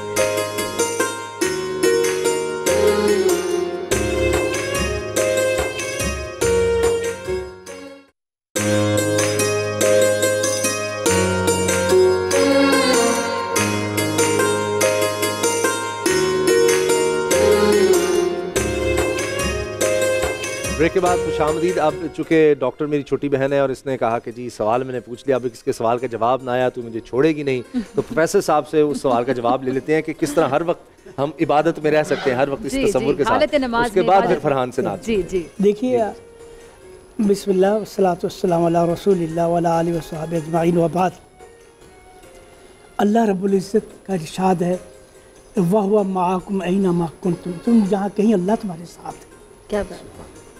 सुभान अल्लाह वल्लाह बिमा बसीर जो तुम कर रहे अल्लाह देख रहा है आपका जो भी अमल है आपकी नीयत अल्लाह की रज़ा है मसल आप सोने जा रहे हैं सोने में अगर आपकी ये नीयत हो जाए मैं सोने जा रहा हूँ ताकि ताज़ा दम हो जाऊँ सही तरीके से अल्लाह की इबादत करूँ आप कहीं दूसरा काम कर रहे हैं आप अपनी नीयत को अल्लाह की रज़ा बना लेते हैं आप किसी का हुसन सलूक कर रहे हैं। आप औलाद पाल रहे हैं। आपकी नींद ये है कि मेरी औलाद मैं पाल रहा हूँ ताकि यह औलाद बड़ी होकर इस्लाम की खिदमतगार बने। यानी उसमें आपकी इबादत का पहलू नज़र आता है। आप किसी को किसी हद तक रसूल फरमाया जो शख्स अपनी बीवी के मुँह में अपनी मुझ को माँ का लुकमा रखता है वो भी उसके लिए सदका इबादत है। आप अगर अपनी नीयत को दुरुस्त कर लें आपका हर अमल अल्लाह की इबादत हो जाएगी। बहुत जैसे सल्फ करते हैं एजालू आदत इबादा। नीयत के साथ अपनी आदत को इबादत बना लो। क्या खाना खा रहे हैं ये इबादत कर नीयत का ये कर लें ये खाना मैं इसलिए खा रहा हूँ ताकि इसमें तकवीज़ पाकर अल्लाह की इबादत करूँ। ये आपका खाना खाना ही पाता है। अच्छी बात किसी को सिखा से देना। अच्छी बात आलो- इसे रसूल कौल मारूफ है सदका। आप अच्छी बात किसी को बता दी ये भी इबादत है। रास्ते में चल जा रहे हैं कोई आपने चीज़ देखी लोगों को तकलीफ़ दे दे चीज़ देखी वो हटा दी ये भी इबादत है। समझे ना? रसूल अकबर ने क्या फरमाया? इन्नी रई तो मुस्लिम बुखारी शरीफ है रई तो राजुलान यतकल्लब फिल जन्नत मिन अजल गुस्ल कता मैंने जन्नत में एक शख्स को मज़े से लौटता पौड़ता देखा घूमते फिरता देखा सिर्फ़ एक दरख्त की टहनी काट दी थी उसने। टहनी जहाँ रास्ते में झुकी हुई थी उस गुजरा वहाँ से कई लोग गुजरे देखा तो उसे यार ये टहनी ऐसा किसी के सर में लग जाए जख्मी हो जाए उसे खड़ी काट दी अल्लाह ताला ने उसका शुक्र अदा किया तूने नेकी की मेरे बंदों के लिए अब मैं इसकी जजात जन्नत है। सुभान अल्लाह तो आप अपनी हर पूरी। ज़िंदगी को अल्लाह की इबादत बना हर काम हर काम को किसी कोई रास्ते कोई रास्ते में किसी को रहनुमाई कर दी किसी को रसूल फरमाया तालीम अखरा के सदका किसी को कुछ सखा देना ये भी सदका है देखिए उसको कुछ आ नहीं है आपने उसको सिखा दिया। कौल मारूफ है सदका बीमार की बीमार पुरसी करना सदका है। यानी आपकी पूरी ज़िंदगी जो है वो नमाज़ बन जाएगी इबादत बन जाएगी। अगर अच्छा, आप अपनी नीयत की सलाह फरमा लें। जज़ाकल्लाह। फरहान भाई नात मैं नात पढ़ता हूँ और बस एक पैगाम इसी हवाले से। एक तो आपने कामयाबी के हवाले से पूछा था और मौलाना साहब की बात से रिलेट भी हो जाएगा कि जब हर काम अल्लाह की नियत के लिए अल्लाह की रज़ा के लिए किया जा रहा है। कोई भी काम हो चाहे आप जॉब पर जा रहे हैं या आप कारोबार कर रहे हैं या आप कलाम पढ़ने आ रहे हैं। मैंने एक चीज़ सीखी है और ये रियलाइज़ भी की है कि जब आप बावजू होकर जाते हैं और वही काम आप वज़ू के बगैर करते हैं तो ज़मीन आसमान का फ़र्क होता है। वाह सुभान असर आता है वज़ू से। आप रिस्क हलाल कमाने जाएँ बावज़ू होंगे। क्या बात है। उसमें एक फ़र्क आएगा। आप पढ़ने जा रहे हैं बावज होंगे उसमें एक फ़र्क है। आप इल्म हासिल कर रहे हैं बावज हो के करेंगे उसमें एक अलग ब्लेसिंग्स फील होती है। बहुत अच्छे बहुत मैं वक्त को ज़ाहिर के बगैर कलाम शुरू करता सुभान अल्लाह, सुभान अल्लाह। इजाज़त चाहूँगा आपसे। बहुत मुनवर चेहरा है। हाँ बहुत शुक्रिया बहुत शुक्रिया। ये उनके ज़िक्र का सदका है रसूल अल्लाह रसूल का। ज़िक्र खुदा हो रहा है तो मैं चाहूँगा कि अल्लाह के ज़िक्र से ही इस महफिल को कंटिन्यू रखा जाए। सीने में दिल है, दिल में है धड़कन। धड़कन की आवाज़ तू अल्लाह अल्लाह अल्लाह। अल्लाह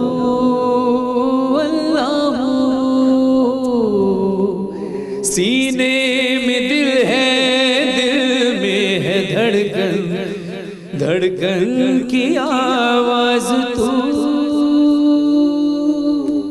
अल्लाह अल्लाह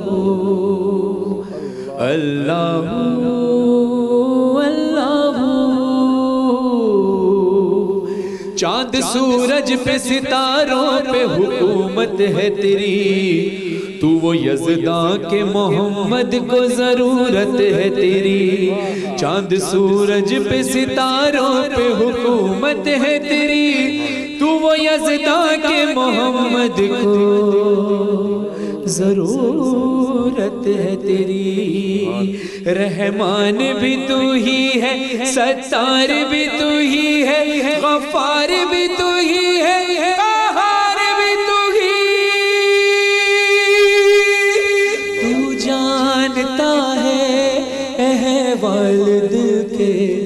सबका मसीहा।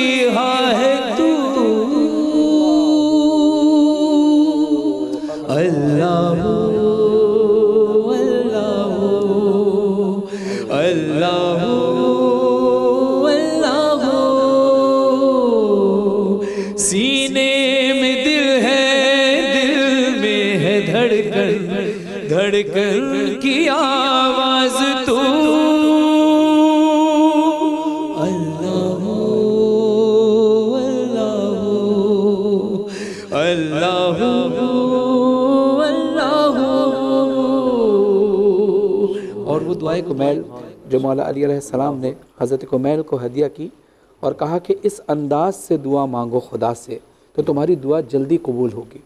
और उसके अंदर एक ख़ास जुमला है या सरी रज़ा। ए सबसे ज़्यादा जल्दी राज़ी हो जाने वाले। यानी जितना जल्दी मेरा रब राज़ी होता है कोई राज़ी नहीं होता। दुनिया के अंदर माँ एक ऐसी हस्ती है ना कि जो बहुत जल्दी राज़ी होती है। तो करोड़ माओ से ज़्यादा मोहब्बत करने वाली ज़ात है अल्लाह की। कि जो बहुत जल्दी राज़ी हो जाता है। अब यहाँ पर एक पैगाम है इस शेर की सूरत में कि इस दुनिया का एक मामूल बन चुका है कि हम एक दूसरे के ऐब को आश्कार करते हैं। जबकि अल्लाह कहता है क्योंकि हम सब गुनाहगार हैं। कुछ गुना ऐसे हैं जो सिर्फ़ मुझे पता है या अल्लाह को पता है? दुनिया को नहीं पता। तो अल्लाह कहता है अगर तू मेरे बंदों के ऐब को आश्कार करेगा तो मैं तेरे ऐप को आश्कार कर दूँगा उस जगह पर जहाँ तेरी सबसे ज़्यादा इज़्ज़त होगी। अगर तू मेरे बंदों के ऐप को छुपाएगा तो मैं तेरे ऐप को भी छुपा लूँगा। तो फिर हर इंसान को अपना अंदर का पता है। तो मैं अल्लाह से मुखातिब होकर कहता हूँ तू मेरे ऐप छुपाता है डाल कर पर्दा। मैं गुनाहगार बहुत बख्श दे, तू मेरे गुनाह। तू मेरे ऐब छुपाता है, डाल कर पर्दा। मैं गुनाहगार बहुत बख्श दे, तू मेरे गुनाह। रहमान भी तू ही है, सत्तार भी तू ही है, गफ्फार भी तू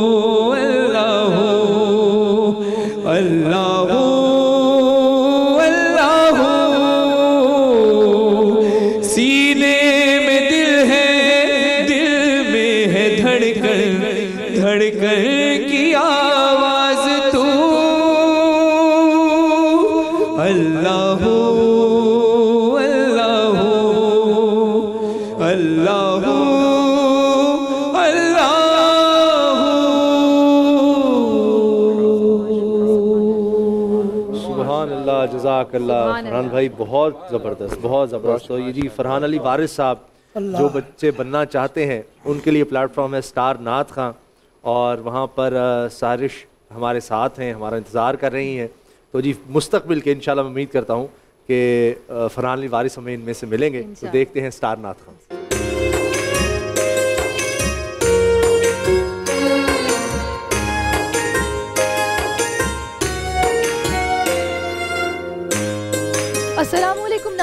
रमज़ान मुबारक के सिलसिले में बोल एंटरटेनमेंट की खसूसी ट्रांसमिशन। रमज़ान में बोल में आपको खुश आमदेद कहते हैं। मैं हूँ आपके साथ सहरेश जुहेब। नाजरीन, पाकिस्तान में बसने वाले तमाम हमारे मुसलमान बहन भाई अपने आठवें रोज़े की तरफ़ जा रहे हैं और ये जो रहमत का अशरा है अपने अख्ताम की जानब बढ़ रहा है और बाबरकत महीना रहमतें, बरकतें समेटते हुए हम आगे की जानब बढ़ रहे हैं।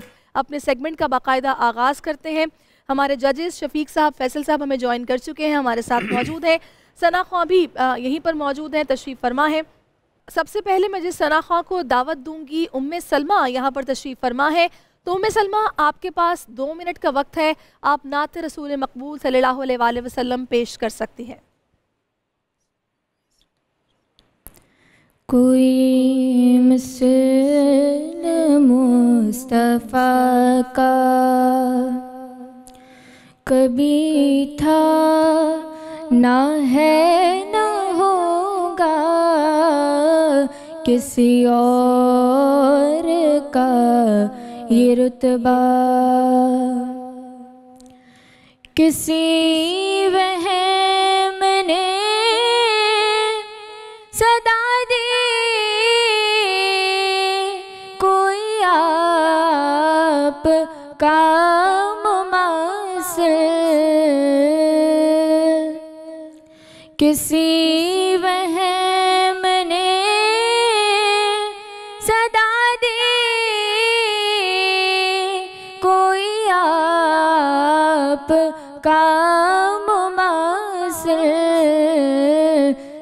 यकीन पुकार उठा। कभी था ना है, ना होगा। कभी था ना है, ना होगा। कोई मिसल मुस्तफ़ा का बत्तीस सेकंड अभी बाकी थे लेकिन उम्मे सलमा ने जल्दी अपना जो अ, है ये नात का सिलसिला उसको ख़त्म कर दिया। पढ़ ली नात। फैसल साहब। जी माशाल्लाह उम्म सलमा ने सबी रहमानी साहब की नात शरीफ का इंतखब किया और जिसे नात कहते हैं ये वैसे ही अशार हैं सरकार सलाम के शुमाइल खसाइल की तारीफ़। लेकिन क्या कीजिए कि तलफ़ में भी गलतियाँ और उजलत और घबराहट मुझे नज़र आई मैं मुतमिन नहीं हो पाया। जी शफीक साहब। नेक तमन्ना है। हाँ माशाल्लाह अच्छा पढ़ा बच्ची ने। थोड़ी सी घबराहट थोड़ी जो है ना क्या कहना चाहिए उसको थोड़ा सा खुलकर पढ़ना चाहिए था और उसमें प्रेशर में आकर पढ़ रही हैं तो ऐसा नहीं होना चाहिए था। बहरहाल ठीक है बेहतर। सही। चलिए। ठीक है जी आगे बढ़ते हैं अपने अगले सना ख्वां की तरफ़ और असद ताहिर यहाँ पर तशरीफ़ फरमा है तो मैं चाहूँगी असद, आपके पास दो मिनट का वक्त है, आप दो मिनट में अपना कलाम जो है पेश कीजिए, जो भी आपने मंतखब किया है, जिस भी शायर का मंतखब किया है, और कोशिश कीजिएगा कि उजलत में नहीं तहमुल से अच्छे तरीके से आप पढ़ें और हमें सुन के मज़ा आए। कोई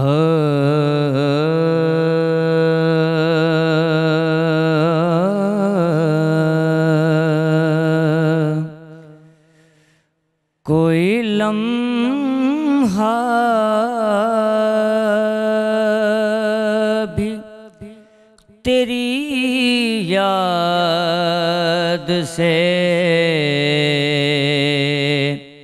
खाली न हुआ। कोई लम्हा भी तेरी याद से। खाली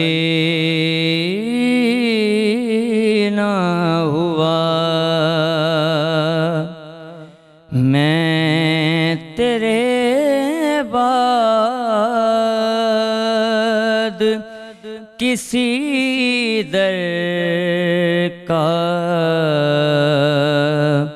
सवाली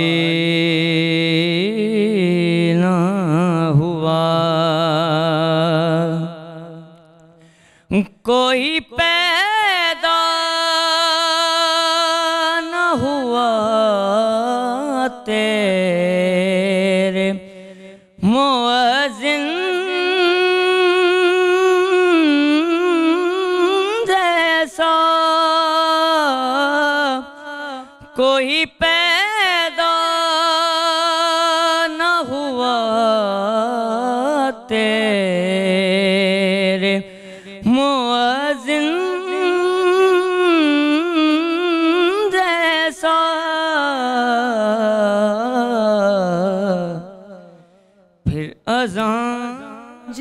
असद बहुत बेस थी असद की आवाज़ में आवाज़ में काफ़ी दम था।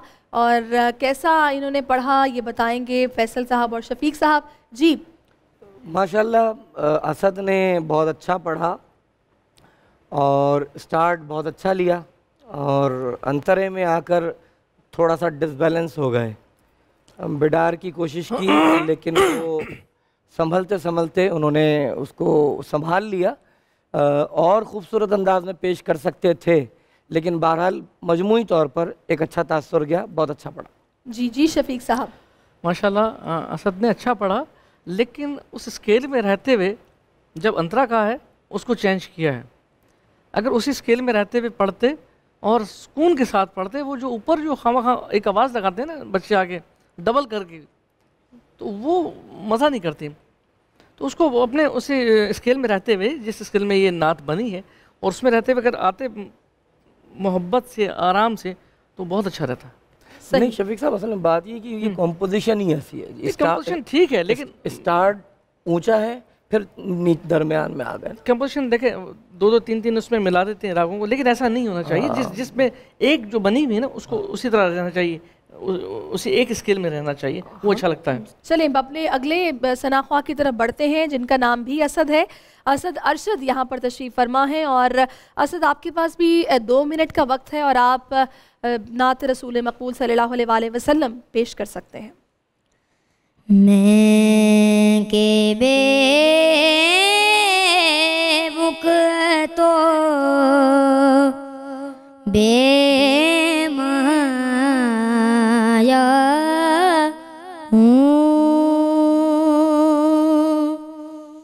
मैं के बे बुक तो बे माया हूँ तेरी महफिल में चलाया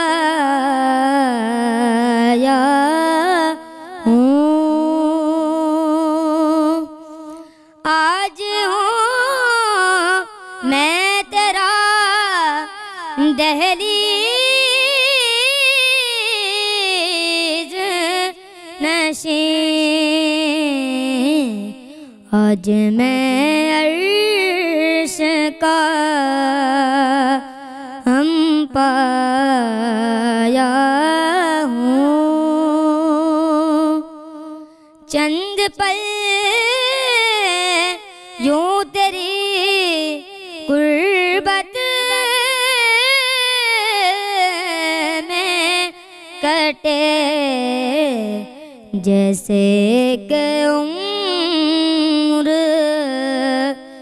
गुजाराया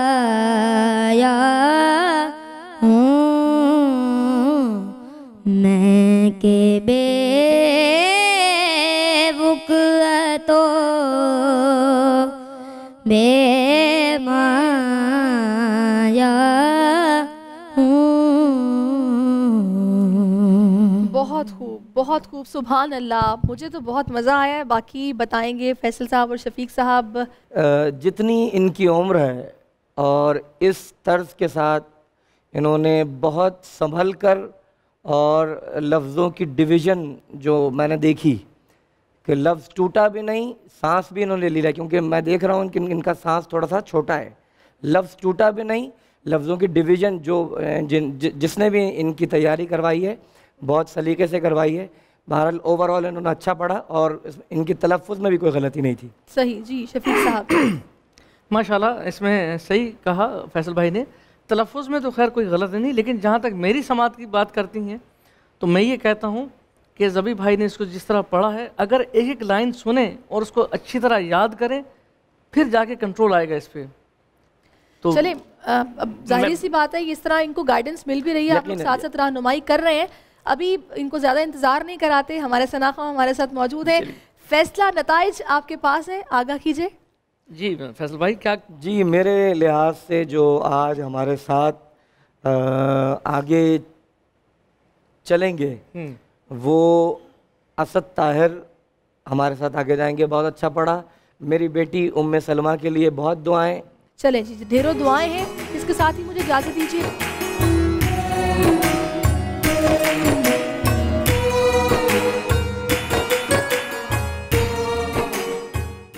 तो मैं इसलिए इन सेगमेंट्स को बहुत ज़्यादा पसंद करता हूँ कि इसमें नौजवानों को मौका मिलता है और अपनी सलाहियतें निखारने का भी और दिखाने का भी। मुफ्ती अबू मोहम्मद साहब ये जिस तरह से हमारा मौजू भी है आज अल्लाह ताला हाजिर नाजिर होना इस वाले से आपने जिस तरह नमाज़ का ज़िक्र किया तो अगली मेरी बात कुछ रह, रह गई क्योंकि वो मौजू मैंने वसी कर दिया था उस हवाले से भी फरमाइएगा। जो बात हम कर रहे थे कि नमाज़ में तो है ही। जी उसके अलावा जिस तरह से अल्लाह ताला हर वक्त हमें देख रहे हैं तो हमें क्या हर वक्त तस्वुर रखना चाहिए? बिस्मिल्लाहिर्रहमानिर्रहीम। देखिए हमारे यहाँ मुसलमानों ने कुछ चीज़ों को दीन के साथ एक बड़ी ज़्यादा ये की कि हमने महसूस चीज़ों को इबादत समझ लिया। किसी ने मस्जिद बना दी तो यही इबादत है किसी ने पाँच वक्त की नमाज़ पढ़ ली तो यही इबादत है किसी ने साल बाद बड़ा एक कुर्बानी का जानवर ज़िबा कर दिया या ज़िंदगी में एक दो मरतबा हज कर लिया। दरअसल में इबादत जो है ये बात बड़े समझने की है कि दीन इस्लाम में इबादत सिर्फ़ एक हिस्सा है। चार हिस्से इबादत जो हैं वो बाकी चीज़ें हैं। पूरी ज़िंदगी इंसान की इबादत है। यानी अकायद इबादत मामलात मुआशरत अखलाक ये पाँच चीज़ें जुड़ती हैं तो दीन बनता है। अकायद इबादत मामलात मुआशरत अखलाक इन पाँच चीज़ों को आप जमा करेंगे तो इबादत बनेगी। और इन पाँचों चीज़ों में जब अल्लाह जल्ल शानू की हाजिर नाजर का तस्वर इस तरह ना हो कि जिस तरह मुझे उसामा गाजी देख रहे हैं फरहान देख रहे हैं डॉक्टर साहब देख रहे हैं अल्लामा साहब देख रहे हैं फलां देख रहे हैं अल्लाह जल्ल शानू का देखना इंसान के देखने से कुछ और देखना है। अल्लाह। वो ज़ात है देखें हाजिर उसे कहते हैं मौजूद नाजिर देखने वाला। देखने वाला। लेकिन वो हाजिर कैसा है और वो नाजिर कैसा है ये बात सोचने वाली है। अलामा सयूती रहमतुल्लाह अलैह ने लिखा है हयातुल हयावान में भी ये बात मौजूद है कि इस दुनिया के अंदर जो आज तक लोगों के इलम में बात आ सकी चालीस हज़ार किस्म की जानदार मखलूक है। और अल्लाह वो हाजिर नाजर ज़ात है जो चालीस हज़ार जानदार मखलूक की ज़ुबानें भी समझता है सुभान उनके दिल की कैफियत भी जानता है सुभान काली रात को काले पत्थर पर चलने वाली काली काली कीड़ी उस जिस सिमत जा रही है उसके अंदर क्या ख्वाहिश पैदा हो रही है? अल्लाह ऐसा हाजिर नाजर है। जब इस तस्वर को मुसलमान कायम करेगा तो मुसलमान का लेवल क्या होगा? मुसलमान का फिर वो लेवल होगा। छोटी सी मिसाल सुनिएगा। हज़रत उमर रज़ी अल्लाह तआला रास्ते पर जा रहे हैं और एक बंदे को देखा कि वो अल्लाह जल्ल शानू का बड़े ही मस्त माहौल में अल्लाह को याद कर रहा है। तो हज़रत उमर ने कहा सर ऐसे आजमाएँ तो सही। करीब गए तो वो किसी की बकरियाँ चरा रहा था। उसे कहा यार थोड़ा सा दूध दे दो। उसने कहा जी मालिक ने ये कहा है उसे ये नहीं पता कि ये बंदा अमीरुल मोमिनीन है। हज़रत उमर मुझसे बात कर रहे हैं। मुँह पे कपड़ा ले बैठा हुआ है। कहा थोड़ा सा दूध पीना है ज़रा भूख लगी है थोड़ा सा दूध दे दो। कहने लगा जी मालिक ने बकरियाँ चराने का आर्डर तो दिया है बकरियों में दूध भी है लेकिन दूध देने का आर्डर नहीं है। सुभान। हाँ तो ऐसा करो कि एक बकरी मुझे दे दो मैं तुम्हें कुछ पैसे दे देता हूँ। और तुम मालिक से कह देना कि बकरी भेड़िया खा गया। कहा जी बात यह है कि मेरा मालिक नहीं दे वो खड़ा हो गया। खड़े हो कहने लगा मेरा मालिक नहीं देख रहा तो क्या अल्लाह भी नहीं देख रहा? अल्लाह। तो हज़रत उमर रज़ी अल्लाह ने उसे दोनों हाथों से पकड़ा उठाया और गले लगा दिया। सुभान। कहा जब तक तुम जैसे लोग दुनिया में रहेंगे मेरे मुस्तफ़ा का दीन ज़िंदा रहेगा। ये तस्वर कायम करने की ज़रूरत है। हर मुसलमान के दिल में वो जो हदीस है ना मुस्लिम शरीफ की कि उस वक्त तक नमाज़ ना पढ़ो जब तक तुम्हारा दिल हाजिर ना हो। यानी पहले दिल को हाजिर कर लो फिर उसके बाद खड़े हो। है। बगैर देखे रब की इबादत नहीं करता। लेवल वो है। अल्लाह को हाजिर नाजिर जान जान के फिर ये। स्टार डिबेटर की तरफ़ हाँ जी स्टार डिबेटर का हमें कहा जा रहा है क्योंकि काफ़ी देर से हमारा इंतज़ार कर रही हैं हाँ जी जी। चलते हैं जी। माविश कौन है आज हमारे साथ स्टार डिबेटर जी?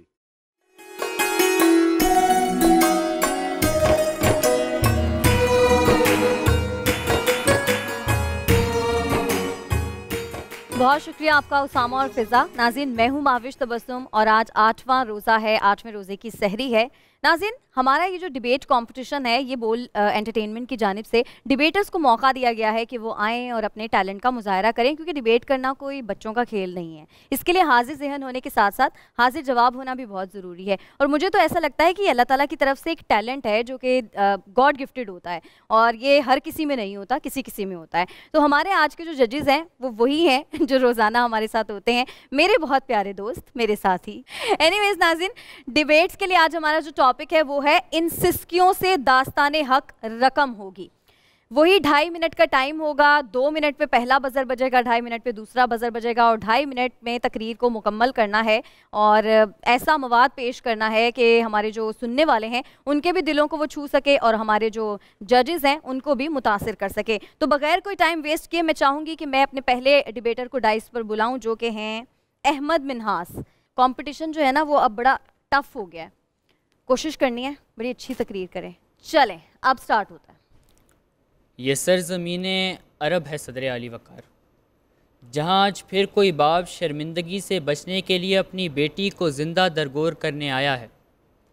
अपने मासूम वजूद पर मिट्टी का वज़न महसूस करते वो बच्ची तड़पती, बिलकती, सिसकती है। मगर उन सिसकियों को मनो मिट्टी तले दबा दिया जाता है। किसे खबर थी कि उन सिसकियों में कितनी ताकत है। उन सिसकियों में दबी इल्तिजाहें ऐसा रंग लाती हैं कि अपनी बेटियों को बेरहमी से ज़िंदा दरगोर कर देने वाले, सलामती वाला दीन आ जाने पर उन्हीं बेटियों को अपनी आँखों की ठंडक और दिल का सकून समझने लगते हैं कि सदर अली वकार, ये वक्त के फ़िरौन राजा दाहिर की कैद में हाकिम बसरा के नाम लिखा गया एक मज़लूम लड़की का। खून आलूद ख़त है कि जिसने पत्थर दिल हाकिम को भी मोम कर दिया। और फिर फिर अबुल हसन की बेटी की सिस्कियों ने ऐसी दास्तान रकम की कि ज़मीनों आसमान ने सिंध को बाबुल इस्लाम बनता देखा। सत्रह साल मोहम्मद बिन कासिम को जाली खुदाओं की खुदाई को खाक में मिलाता देखा। इन सिस्कियों के बाद दास्तान हक रकम होगी कि सदर अली वकार ये सिसकियाँ, सिसकते सिसकते, चीख और चीख एक दिन ललकार बन जाती हैं। ऐसी ताकतवर ललकार कि जो अफ्रीका के सियाफाम मजलूमों को नस्ल परस्तों से हमेशा के लिए निजात दिला दे। ये सिसकियाँ जब ललकार बनती हैं तो मैदान करबला में इस्लाम ज़िंदा करती हैं। ये सिस्कियाँ जब ललकार बनती हैं तो बुरहान मानी जैसे मुजाहिद पैदा करती हैं। ये सिस्कियाँ जब ललकार बनती हैं तो चेचनिया के मुसलमान आज़ादी का सूरज तुलू होता देखते हैं कि सदर अली वकार, आज हम जिस फिज़ा में सांस लेते हैं, इन फिज़ाओं में हमारे अबाओ अजदाद की वो सिस्कियाँ हैं, जिन्होंने दास्तान हक रकम की कि सदर अली वकार, आज भी शाम कश्मीर, फ़लस्तीन के मजलूम मुसलमान, किसी सुल्तान सलाहुद्दीन अयूबी के मुंतजर हैं कि कोई यूसुफ बिन ताशफीन, जो इन सिसकते मजलूम मुसलमानों के दुखों का मदावा करने ज़रूर आएगा, फिर किसी जैनब और निमरा का सिसकता वजूद कूड़े के ढेर पर पड़ा नज़र नहीं आएगा क्योंकि जुल्म फिर जुल्म है। बढ़ता है तो मिट जाता है। खून फिर खून है। टपकेगा तो जम जाएगा। बहुत अच्छी तकरीर मुझे तो बहुत अच्छी लगी। बाकी हमारे जजेस ही बताएँगे। नेक्स्ट मेरी जो डिबेटर हैं वो मेरे साथ हैं नूर फातमा। नूर आ जाइए डाइस पर। ढाई मिनट का टाइम है आपके पास भी। दो मिनट पे पहला बजर ढाई मिनट पे दूसरा बजर तैयार हैं आप? स्टार्ट करें। आपका टाइम शुरू होता है अब। बातिल का जुल्म जब हद से बढ़ जाए तो मजलूम की सिस्कियों से दास्तान हक रकम होती है सदर अली वक़ार। सरों पर मंडलाती हुई मौत से पहले रक्स करती हुई खौफ की परछाइयाँ हैं।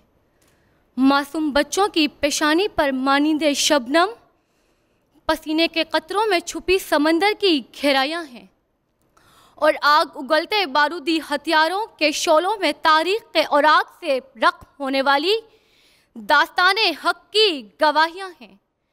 माँ की गोद से आगोश लहद तक तालीम हासिल करने की ख्वाहिश करने वाले अपनी माओं की गोदें उजाड़ कर उम्र भर के लिए सब्र तहमुल की आजमाइश दे गए।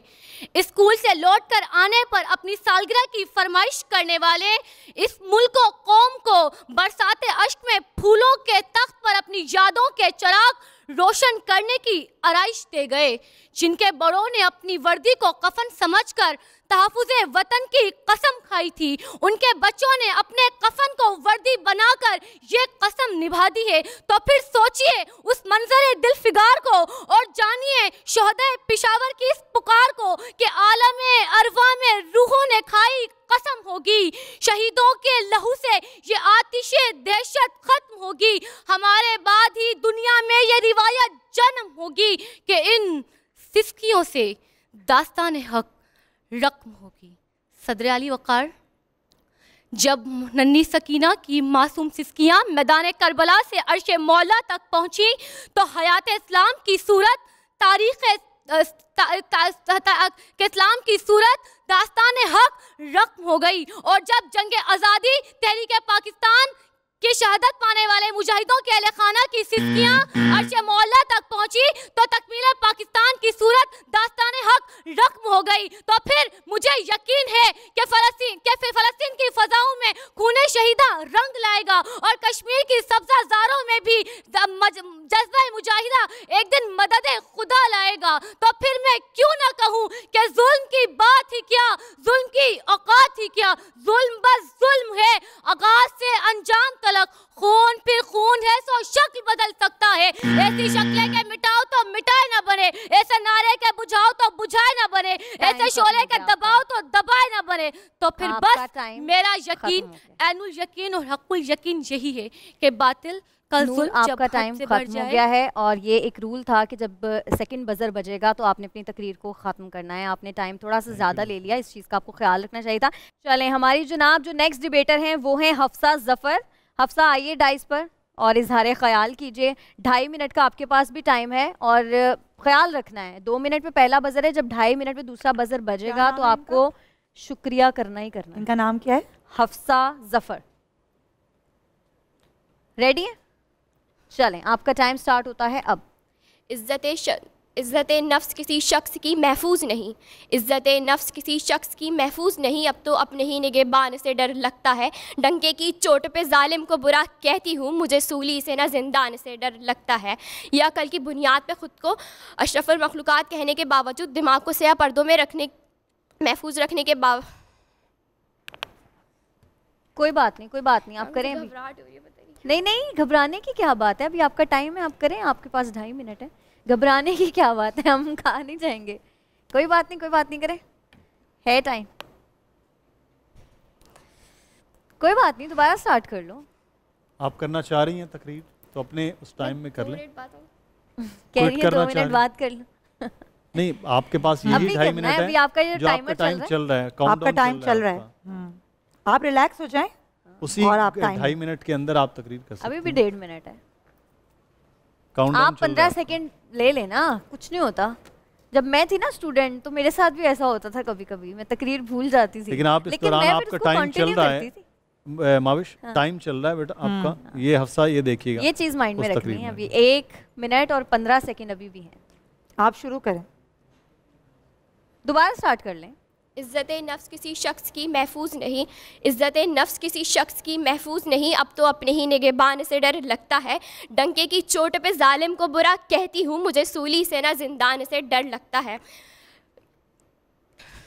नहीं हो रहा मुझसे कोई बात नहीं कोई बात ठीक है। कोई मसला नहीं है। आ, बस आप आ जाए यहाँ पे डाइस पे खड़े हो जाए। मैं अपने नेक्स्ट दोनों डिबेटर्स को भी बुला लेती हूँ।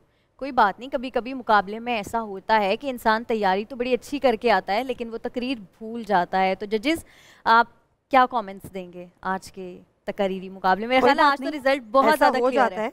आप बुला लें। मैं ये कह रही हूँ कि मेरे जो बाकी दोनों डिबेटर्स हैं वो भी आ जाएँ डाइस पर। क्या हफ्सा क्या हुआ था? क्या? घबराहट हो रही थी। नहीं किस चीज़ की घबराहट हो रही थी? पता नहीं क्यों।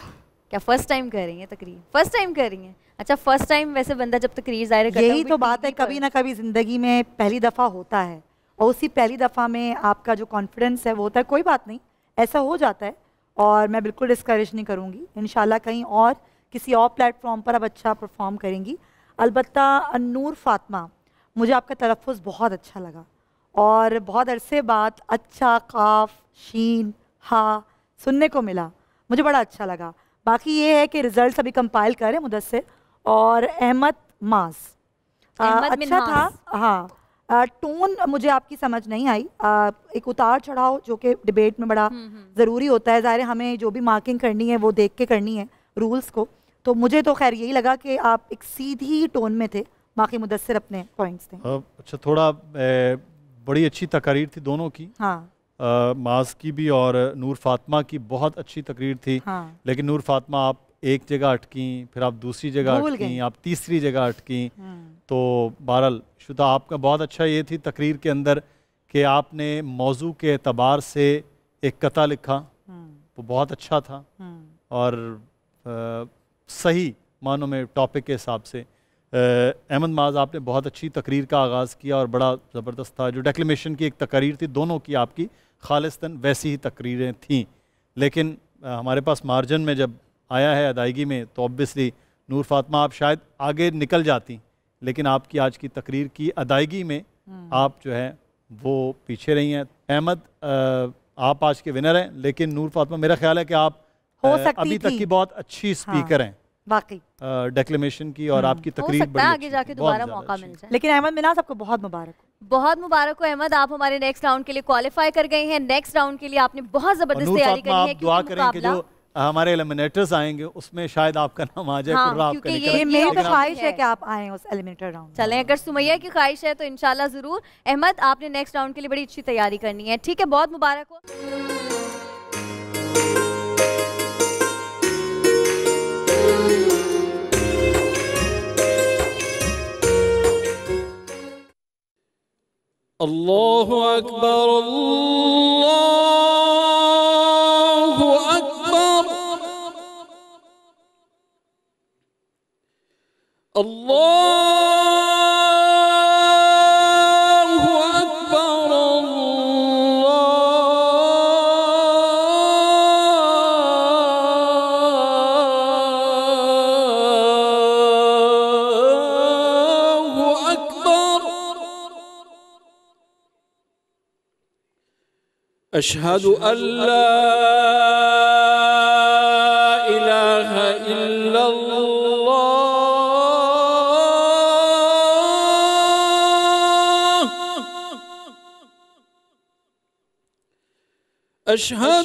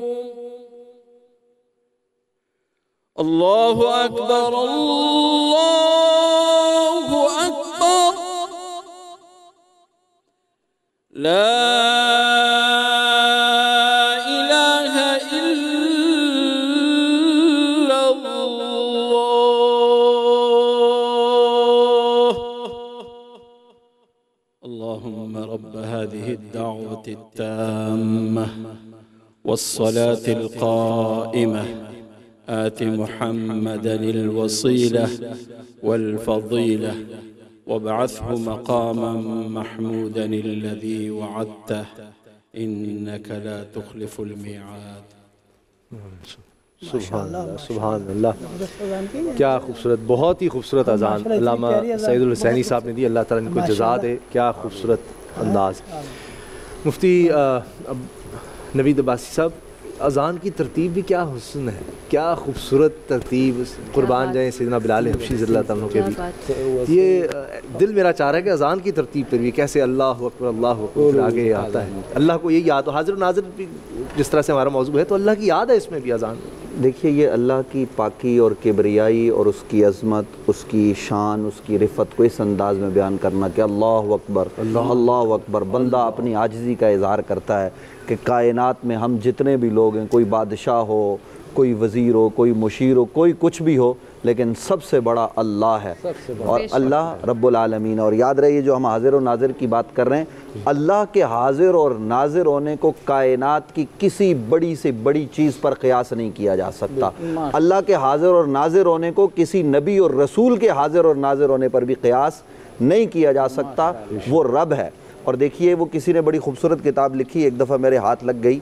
तो उन्होंने उसमें ये लिखा है कि कायनात में हर लम्हा हर लेज़ा हर आन सदाए आज़ान बुलंद हो रही है। हर वक्त आज़ान की आवाज़ है। यानी कायनात के उन्होंने वक्त को हिसाब किया और बताया कि इस वक्त इस मुल्क में वहाँ से निकलता है तो पाकिस्तान और यहाँ से फिर आगे यूरोप और फिर कई ममालिक में। यानी चौबीस घंटे अजान जारी। और सात हफ़्ते के सात दिन अजान जो है वो जारी है। और देखिए कि इस अजान में हम क्या कहते हैं? ये अजान असल में जब तक बुलंद और ये याद रहे कि अजान कोई मामूली चीज़ नहीं है। अजान इस्लाम के शार में से एक शार है शायर इस्लाम है। निशानी ये बुनियादी इस्लाम की निशानी है।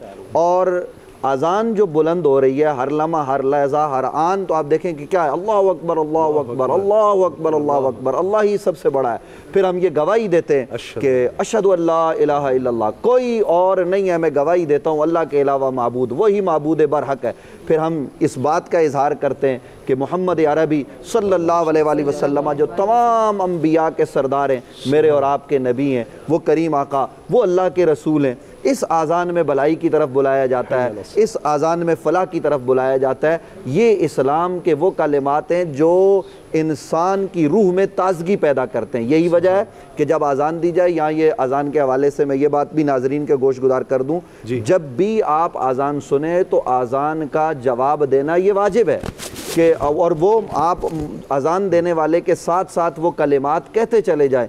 हम असल में अजान के हवाले से इन चीज़ों का ख्याल नहीं करते हम गुफ्तगु में मसरूफ़ रहते हैं। हाँ टीवी की रिकॉर्डेड अजान उसका हुक्म अलग है लेकिन मस्जिद से बुलंद होने वाली सदा का हुक्म अलग है। और ये मसला भी जहन में रहना चाहिए कि अगर शहर में आपके मोहल्ले में दस मस्जिदें तो दस मस्जिदों में दस ही की अजान सुनी जाए तो सुबहान अल्लाह सुबहान अल्लाह नहीं तो कम अज़ कम एक अजान को सुनना और उसका जवाब देना। ये मुसलमानों के लिए ज़रूरी है।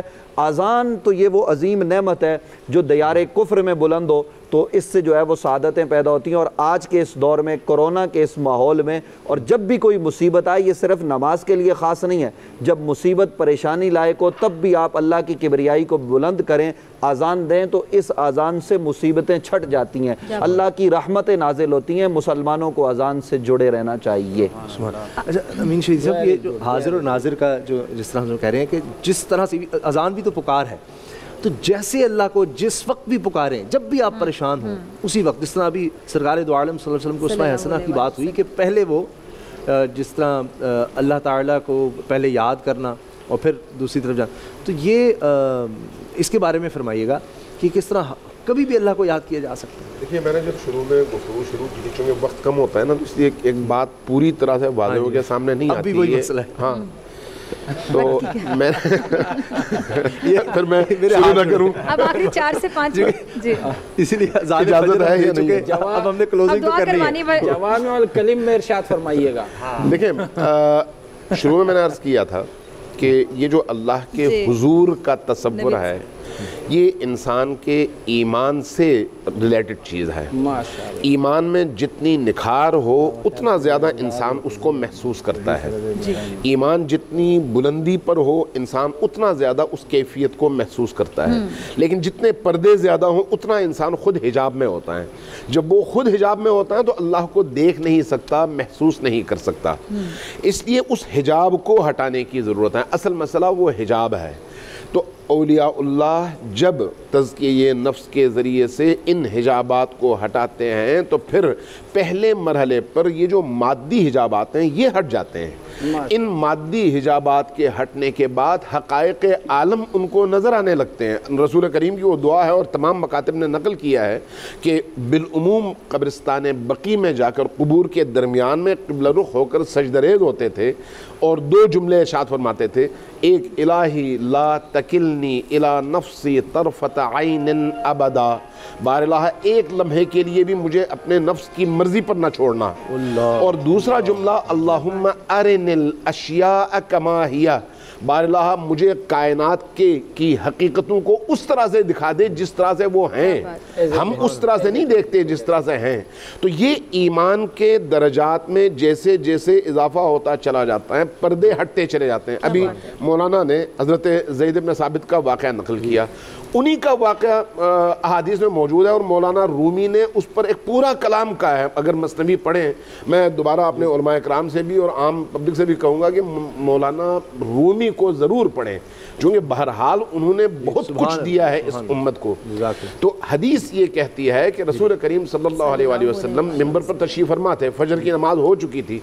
आपने देखा मजमा में जमात में चूँकि उस मस्जिद छोटी थी तो जो लोग मौजूद थे साहब कराम उनमें हज़रत जैद का चेहरा जो है वो मुरझाया हुआ है बाल बिखरे हुए हैं आँखें सुर्ख हैं बेखाबी की कैफियत है। पूछा कैफा असबह तया जैद? जैद तुमने रात कैसे गुजारी? फरमाया अर्ज़ किया कि असबह तो या रसूल अल्लाह मैंने यकीन के आलम में रात बसर की ए अल्लाह के रसूल। ये जो यकीन का आलम है इसका ताल्लुक किससे है? उसके ईमान से। फरमाया लिकुल शैन अलामत अलामत यकीन। हर चीज़ की कोई अलामत होती है तो तुम्हारे उस यकीन की अलामत और उसकी निशानी क्या है? फरमाया अर्ज़ किया कि या रसूल अल्लाह सारी रात में अल्लाह के ज़िक्र फ़िक्र और कुरान की तिलावत में मसरूफ़ रहा। क़याम क़ूद सुजूद व रुकू में मसरूफ़ रहा। जब मैंने कुरान खोला और कुरान में जब बशारत की आयत आई तो जन्नत मेरे सामने आई मैं देख रहा था। अल्लाह। और जब जहन्नम की नवीद आई तो वो जहन्नम भी मेरी आँखों के सामने था मैं देख रहा था। और मैंने ये देखा कि कौन अब भी जहन्नम में है और कौन अब भी जन्नत में है। या रसूलुल्लाह इजाज़त देंगे मैं बताऊँ कि इस वक्त जिस महफिल में हम हैं इनमें कौन लोग अब भी जहन्नम में है और कौन जन्नत में है? तब रसूलुल्लाह ने फरमाया नहीं यहाँ से आगे ना बढ़ो। खामोश। इस कैफियत को मौलाना रूमी ने बयान किया। फरमाते हैं कि लब गुजीदश मुस्तफ़ा यानी कि बस। नबी करीम ने अपने होंठ काटे और फरमाया कि नहीं जैद इससे आगे ना जाना बस यहीं पर खामोश रहो। ये हज़रत जैद की कैफियत उस मकाम तक पहुँचना किस चीज़ की अलामत है? पर्दों के हटने की ईमान के कमाल की और अल्लाह को अपने सामने हमेशा हाजिर और नाजिर समझने की। ये उसका नतीजा है। दुआ के लिए मैं मैं चाह रही हूँ कि अगर हम फरहान भाई से दुआ करवाएँ क्योंकि उलमा हमारे साथ होते हैं ये मतलब परमानेंट हमारे गेस्ट और किसी ना किसी को मौका मिलता रहे तो फरहान भाई आपकी मौजूदगी का फ़ायदा उठाते हुए दुआ आज आपसे। करम माँगता हूँ अता माँगता हूँ। इलाही मैं तुझसे दुआ माँगता हूँ। अता शाने करीमी का। सदका अता कर तू शाने रहीमी का। सदका न मांगूँगा तुझसे तो मांगूँगा किसे। तेरा हूँ तुझी से दुआ माँगता हूँ।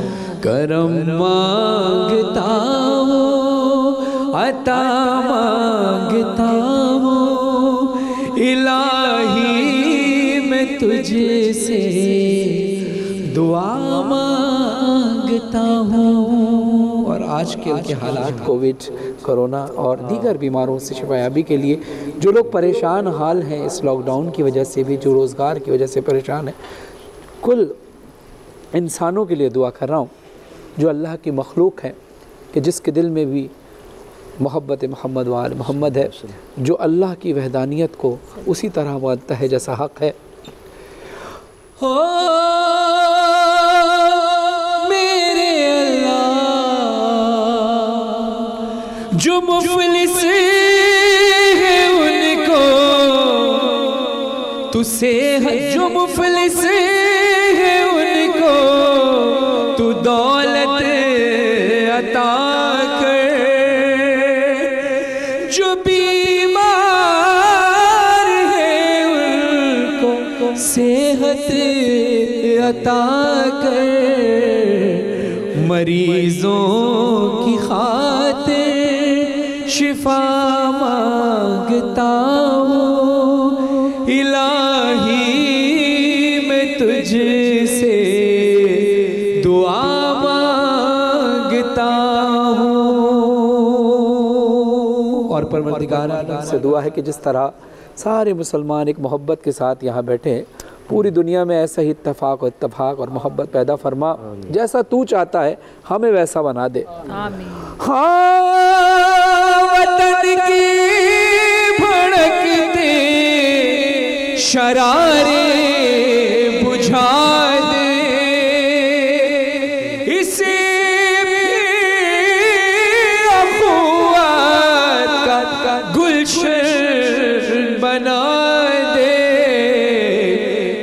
सदका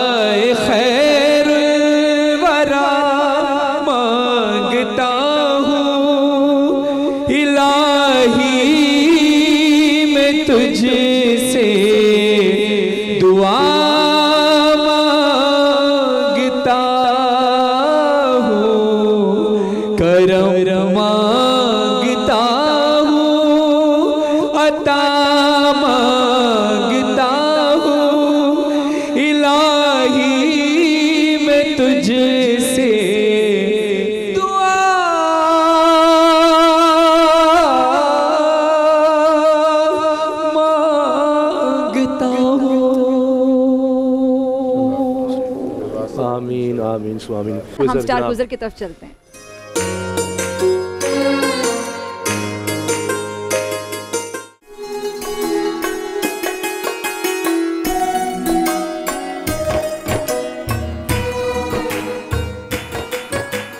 जनाब डिबेट कंपटीशन तो हमारा हो गया और अब मेरा ख्याल है फटाफट क्विज राउंड भी कर लें सुमैया मुदस्सिर। बिल्कुल है ना? टाइम नहीं वेस्ट करते। हम्म। अपने कंटेस्टेंट्स के नाम बताते हैं। आज के जनाब हमारे जो कंटेस्टेंट्स हैं बे टीम में हमारे साथ हैं अब्दुल रहमान वाओ में हमारे साथ हैं इमशाल और इमशाल बड़ी क्यूट सी छोटी सी बच्ची हैं और लाम में हैं जनाब हमारे साथ शेर अली। दो हमारे राउंड होते हैं एक होगा बजर राउंड और दूसरा राउंड है रैपिड फायर मैं करूँगी बजर राउंड और सुमैया और मुदसर अच्छा। करेंगे रैपिड फायर आज कोई एतराज़ तो नहीं? नहीं नहीं नहीं बिल्कुल आप फायर तो बजर राउंड में आप तीनों को मैं बता दूँ कि क्वेश्चन मैं करूँगी क्वेश्चन पूरा गौर से सुनिएगा उसके बाद जो पहले बजर बजाएगा वो क्वेश्चन का आंसर देगा। सही जवाब पर प्लस टेन गलत जवाब पर माइनस टेन तो बड़ा स्मार्टली आपने प्ले करना है। अगर जवाब नहीं आता तो बजर ना बजाना क्योंकि माइनस टेन होने से बेहतर है कि आपका कोई पॉइंट ना हो। बजर राउंड में ये होगा। बाद में जब रैपिड फायर होगा तो उसमें फिर 60 सेकंड्स में मैक्सिमम क्वेश्चंस के आंसर्स आपको देने होंगे। तो बजर राउंड के लिए रेडी अपने अपने बजर आप लोग चेक कर लें। रेडी है? स्टार्ट करें? जनाब। अच्छा डैश है जैसे फिल इन द ब्लैंक होता है ना वैसे। आपने बताना है कि इस डैश में क्या आएगा। इल्म ऐसी दौलत है जो बांटने से डैश है। ऑप्शंस दूँ? बढ़ती घटती लाम। बढ़ती है। बिल्कुल सही जवाब। कुरान मजीद में दिलो दिमाग और आँख रखते हुए हक से रू गर्दानी करने वाले को किस चीज़ से तशबी दी गई है? ऑप्शंस हैं परिंदों से कोई भी नहीं मछलियों से चौपाइयों से। जी। कोई भी नहीं। गलत जवाब चौपाइयों से। किताब चचा छक्कन किसकी तसनीफ है? ऑप्शंस अमानत लखनवी इंतज़ार हुसैन अमीर मिनाई चिराग हुसैन हसरत। अमानत लकवी अ, ए अमानत लकवी गलत जवाब इंतज़ार हुसैन। नेक्स्ट क्वेश्चन है जनाब। वो कौन सी सूरत है जिसका चैलेंज कुफार को दिया था कि इस जैसी सूरत बना कर लाओ? ऑप्शन हैं सूरत लहब सूरत इखलाक सूरत कौसर सूरत अलमायदा। सूरह लहब। गलत जवाब सूरत कौसर। नहीं अब अगर आप आंसर दे भी देंगे तो उसके कोई पॉइंट्स नहीं है। आपके माइनस टेन गजवा तबूक के दौरान इस्लामी लश्कर कितने रोज़ तक तबूक में रहा? ऑप्शंस तिहत्तर रोज़ पच्चीस रोज़ बीस रोज़ चालीस रोज़। तिहत्तर रोज़। गलत जवाब बीस रोज़। नेक्स्ट क्वेश्चन है दूसरी हिजरी में गजवा बदर से पहले कौन सा गजवा हुआ था? ऑप्शंस गजवा बनी जिल अशीरा गजवा बवाद गजवा बनी किकाक गजवा सवीक। पास कर दूँ? कोई भी नहीं आंसर देना चाहता। आयात मुबाहिला कुरान पाक की कौन सी सूरत में है? ऑप्शंस सूरत नमल सूरतुल खल सूरत आल इमरान सूरत कौसर।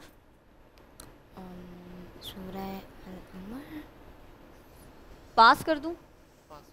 सूरा आल इमरान। गजवा मोता में मसीही लश्कर की तादाद क्या थी? ऑप्शंस एक लाख दो लाख पाँच लाख नब्बे हज़ार। दो लाख। बिल्कुल सही जवाब दो लाख। जंगे मोता में मुसलमान फौज के कितने जवान शहीद हुए? ऑप्शंस हैं 21, 31, 41 या इक्यावन। नो आंसर पास कर दूँ? जी। पास कर दूँ? नेक्स्ट क्वेश्चन वैसे इसका जवाब है 21 कबीला अतमारो तालिया के साथ चार हिजरी को जो गजवा हुआ, वो क्या कहलाता है? ऑप्शंस हैं, गजवा गाबा गजवा बनी नज़ीर, गजवा जातुल रुका और गजवा दोमता। काफ़ी वैसे मुश्किल सवालात हैं, लेकिन ये कि आज हमारे जो कंटेस्टेंट्स हैं, उनकी लगता है तैयारी भी नहीं है। नहीं देना चाहते आंसर लास्ट क्वेश्चन किताब तस्करा किसकी तसनीफ है? ऑप्शंस चिराग हुसैन हसरत बानू कुत्सिया अबू अल कलाम आज़ाद या इंतज़ार हुसैन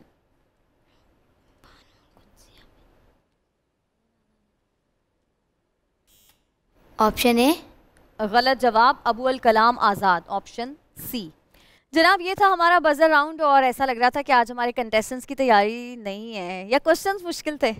हाँ तैयारी भी थोड़ी कमज़ोर लग रही थी लेकिन कोई बात नहीं सवाल आप भी मुश्किल रखे हुए मुश्किल तो रखे हुए थे सवाल। अब ये मेरी टीम बताएगी कि आज का जो ये बजर राउंड था इसमें किसका कितना स्कोर रहा? तो अभी स्क्रीन पर आ जाएगा। अच्छा जनाब टीम बे के माइनस थर्टी टीम वाओ माइनस ट्वेंटी और टीम लाम के सिफर।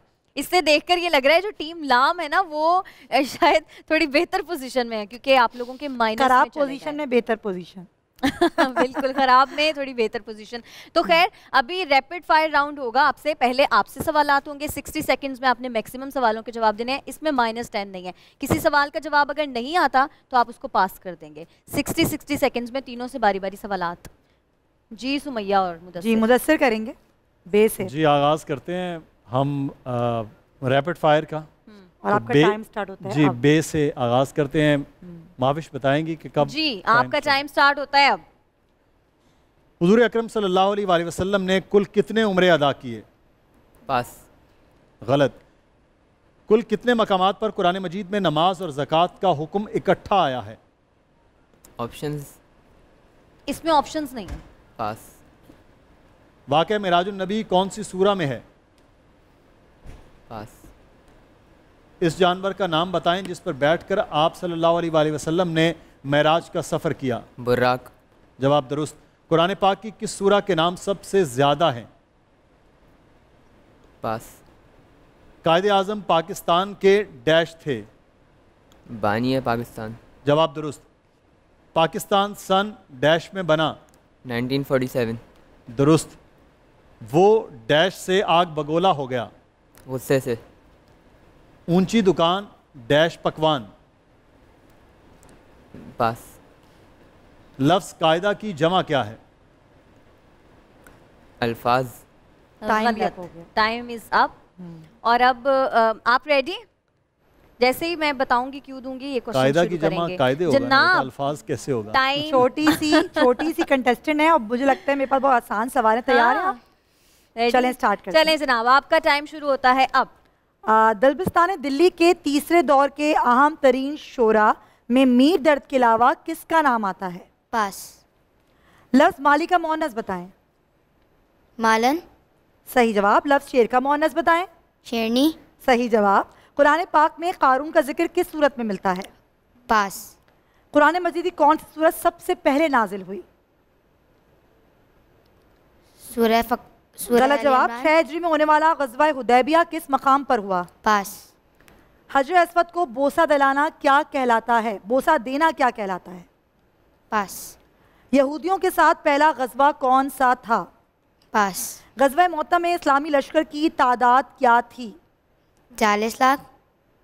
गलत जवाब गजवा मोहत्ता कब लड़ा गया? पास। किताब मुसद्दस हाली किसकी तसनीफ है? पास। लफ्ज लोमड़ का मुन्नस बताएँ। लोमड़ी। सही। सही बिल्कुल तैयारी ऐसा लग रहा था नहीं थी। हाँ जी ये सही ये वाला सही था जवाब। हाँ, चलें आप रेडी हैं? जनाब शेर अली रेडी हैं आप? चलें आप मुदस्सिर आप सवाल करें। जी। चलें जनाब आपका टाइम शुरू होता है अब। हज़रत अबू बकर सिद्दीक का असल नाम क्या था? पास। आप सल्लल्लाहु अलैहि वसल्लम ने सबसे पहले कहाँ खड़े होकर कुफ़ार को इस्लाम की दावत दी? मक्का। मक्के में। पास। वो कौन सा अमल था जो आपने दुनिया में आखिरी मरतबा किया? पास। इस्लाम की पहली गैर मुल्की जंग कौन सी थी? पास। कुरैश के काफिले की रोकथाम के लिए दो हिजरी में जो गजवा हुआ उसका नाम क्या था? गजा बदर। गलत। हज़रत आयशा की उम्र क्या थी जब आप सल्लल्लाहु अलैहि वसल्लम से उनका निकाह हुआ? पच्चीस बरस। गलत। किताब बरज़क किसकी तसनीफ़ है? पास। किताब रिमझिम का मुसन्फ़ कौन है? पास। उर्दू शायर में नज़ीर अकबर आबादी की खसूसियात क्या हैं? पास। लफ्ज़ माँ का जमा क्या है? माए। लफ्ज़ शीशा का जमा क्या है? शीशा। शीशे शीशे। जमा लफ्ज़ नाना का Time. क्या है? सॉरी। नाना का मुअन्नस क्या है? ना, नानी। सही। ये सही है ना? जी जी सही। बिल्कुल सही। और जनाब थोड़ा सा डिसअपॉइंट किया है आज लग रहा है तैयारी नहीं थी ऐसे ही बस आ गया मुकाबले के लिए खैर। जनाब टीम बे जो है वो आज का जो ये राउंड है उसने क्वालिफाई कर लिया है। आज का जो गेम है वो जीत गए हैं टीम बे और इनका नाम है अब्दुल रहमान। टीम वाओ ने लिए हैं 20 पॉइंट्स और टीम लाम ने भी लिए हैं 20 पॉइंट्स तो आज का ये जो मुकाबला है उसके विनर अब्दुल रहमान आप हैं। आपको बहुत मुबारक हो आप नेक्स्ट राउंड के लिए क्वालिफाई कर गए हैं लेकिन तैयारी करनी है तक नेक्स्ट राउंड एपिसोड का सबसे कम स्कोर था ये। क्योंकि हमने इससे पहले जितने भी कॉम्पिटिशन्स किए हैं उनमें लोगों की तैयारियाँ बड़ी अच्छी थी तो आपके लिए आगे जाके बड़ा मुश्किल हो जाएगा ठीक है? तो नेक्स्ट आपने अच्छी तैयारी करनी है बाकी आप दोनों इंशाल्लाह कभी ज़िंदगी में दोबारा मौका मिलेगा।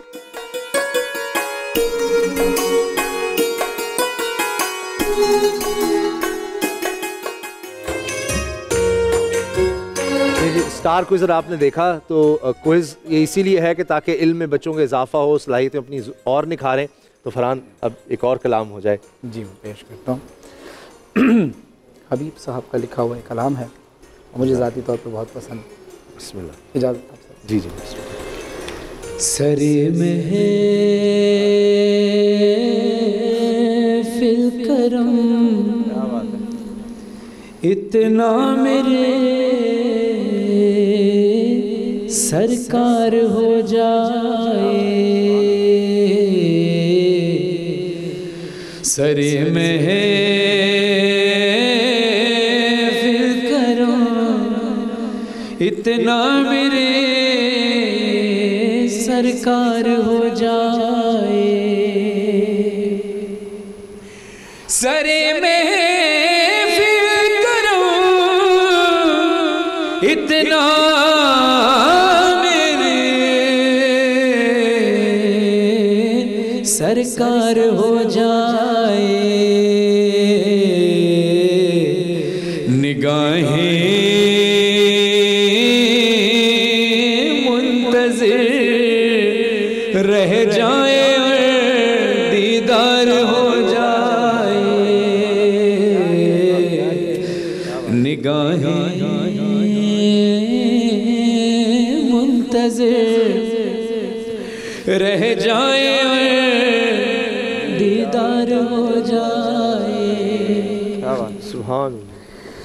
तस्वीर में तेरी हर शय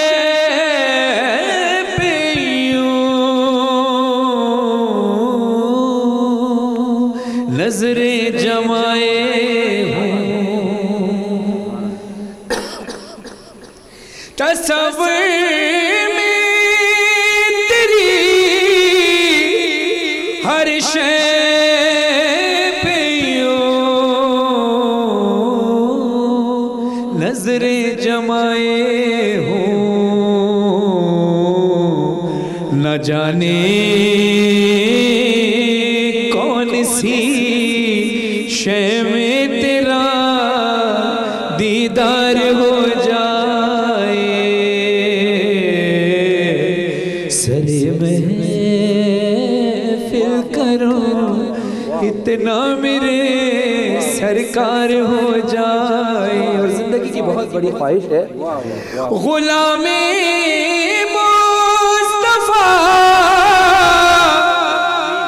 बनकर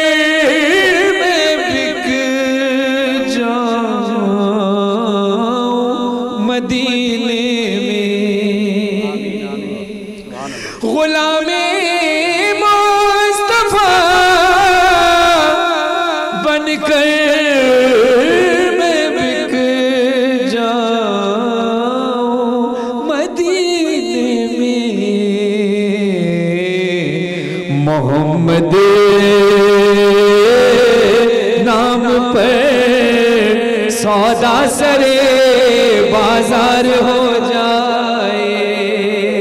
हाँ, मोहम्मद नाम पर सौदा सरे बाज़ार हो जाए। और भी शेर में पढ़ने लगा हूँ। और मैं समझता हूँ कि इस शेर की थोड़ी सी तशरी करना ज़रूरी है।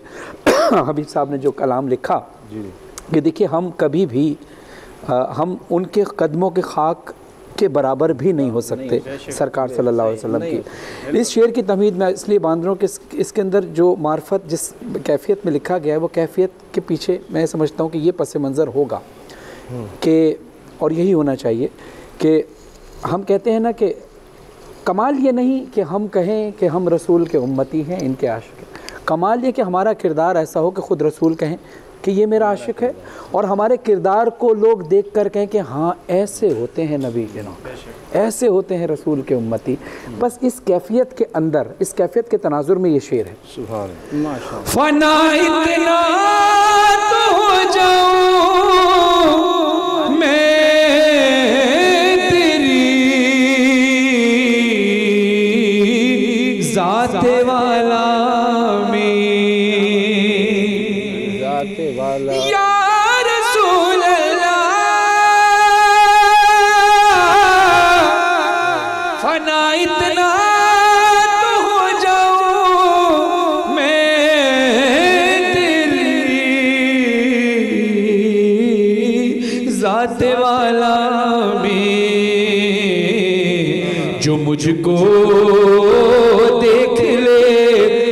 उसको तेरा दीदार हो जाए।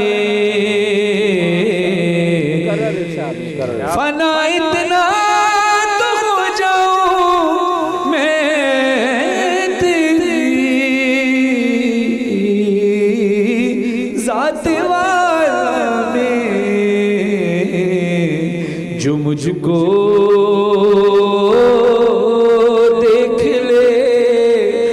उसको तेरा दीदार हो जाए। सरे में है फिर करम, इतना मेरे सरकार हो जाए। सुबह मुजफ्फर साहब, वो चंद मिनट हैं हमारे पास, फिर जान फजर का वक्त हो रहा है। तो आप अच्छा ये आपने हाजिर और नाजिर का उनवान डॉक्टर फ़िज़ा और उसामा भाई ने आज बांधा है। मुझसे एक साहब ने पूछा कि नमाज़ में हाथ इधर बांधने या इधर बांधने या इस तरह खड़े होते हैं ना यूँ। नहीं हाँ यूँ नहीं बांधने हाथ छोड़ने। तो मैंने कहा कि इसको आप छोड़ें आप इधर बाँध दें नमाज़ हो जाएगी इधर बाँध दें नमाज़ हो जाएगी छोड़ दें तब भी नमाज़ हो जाएगी ये सब शरीयत में है।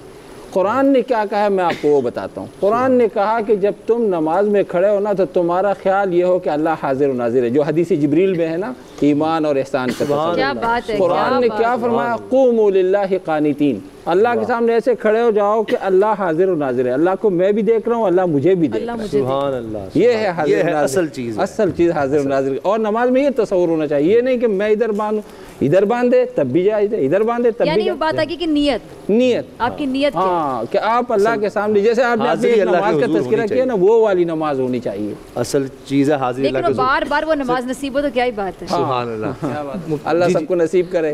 वरना फिर हज़रत अभी जो खाने का खाने काबा में जब सब खड़े होते हैं अच्छा मुफ्ती नमाज़ ना होता अच्छा बिल्कुल सही फरमा मुफ्ती वसीम साहब कुछ माना चाह रहे हज़रत कलाम पढ़ रहे थे। हर लिखने वाला जो शायर होता है वो हर शेर किसी ख़ास मंजिल पर जाकर लिखता है और हर शेर के अंदर कोई ना कोई तारीख मौजूद होती है। जैसे अभी हज़रत ने वो शेर पढ़ा कि मैं ग़ुलाम मुस्तफ़ा बनकर बिक जाऊँ मदीने में। तो ये सिर्फ़ शेर नहीं है इसके पीछे एक हकीकत है। मेरे दिल ने चाहा कि वो वाक़ जो है सामीन की नज़र कर दूँ। हज़रत जैद बिन हारसा रदी अल्लाह जी। ये ग़ुलाम थे और ये बिकते बिकते मदीने में आ, मक्का में आ चुके थे और हुजूर अली सलाम के पास भी बतौर तोहफ़ा ग़ुलाम के आ चुके थे। वालिद इनको तलाश करते करते इनके चचा के साथ मक्का में पहुँच गए। और आकर हुजूर अली सलाम के पास अर्ज़ की कि हमने सुना है आप बड़े करीम शख्स हैं। आपके पास हमारा बच्चा है जो ग़ुलाम है हम चाहते हैं जो मुआवजा है आप ले लें और ये बच्चा हमारे सुपुर्द कर दें। हज़रत जैद बिन हारसा को बुलाया गया हुजूर ने फरमाया मुआवजा नहीं लूँगा। ये बच्चा फैसला करे इसके इसको किसके साथ जाना है? इसकी बात को माना जाएगा। जैद बिन हारसा रदी अल्लाह अन्हु जब आए तो उन्होंने कहा कि मैं पहचानता हूँ ये मेरे वालिद हैं ये मेरे चचा हैं लेकिन मैं इनके साथ नहीं जाऊँगा। मैं, तो मैं आपकी ग़ुलामी में रहना चाहता हूँ। तो वालिद ने कहा कि तुम गुलामी की ज़िंदगी को तरजीह दे रहे हो। गुलामी का दौर था। उन्होंने कहा आपको नहीं पता इस गुलामी में क्या रखा हुआ है। सुभान तो यानी उनकी गुलामी पर भी नाज होता है क्योंकि जो उनका गुलाम बनता है वो ज़माने का ताजदार बनता है। सुबह बिल्कुल सच शायर ने कहा। फरहान भाई आपका बहुत बहुत शुक्रिया। आप तशरीफ़ लाए बड़ी मेहरबानी। हमारी जो सहरी और ज़्यादा हसीन और ज़्यादा खूबसूरत हो गई और रूहानी खुराक जो है ना आज हमें और ज़्यादा मिल गई है सारी में। प्रोफेसर साहब आपका शुक्रिया। मुफ्ती साहब आपका नामा साहब आपका भी बहुत बहुत शुक्रिया। मुफ्ती अबू मोहम्मद साहब आपका मुफ्ती नवीद अब्बासी साहब अलामा अमीन शहीदी साहब और मुफ्ती मोहम्मद वसीम साहब आप सबका बहुत बहुत शुक्रिया। आ, हमारी सार की ट्रांसमिशन यहाँ पर ख़त्म होती है। इन ताला आपसे इफ्तार ट्रांसमिशन मुलाकात होगी। अल्लाह हाफिज़।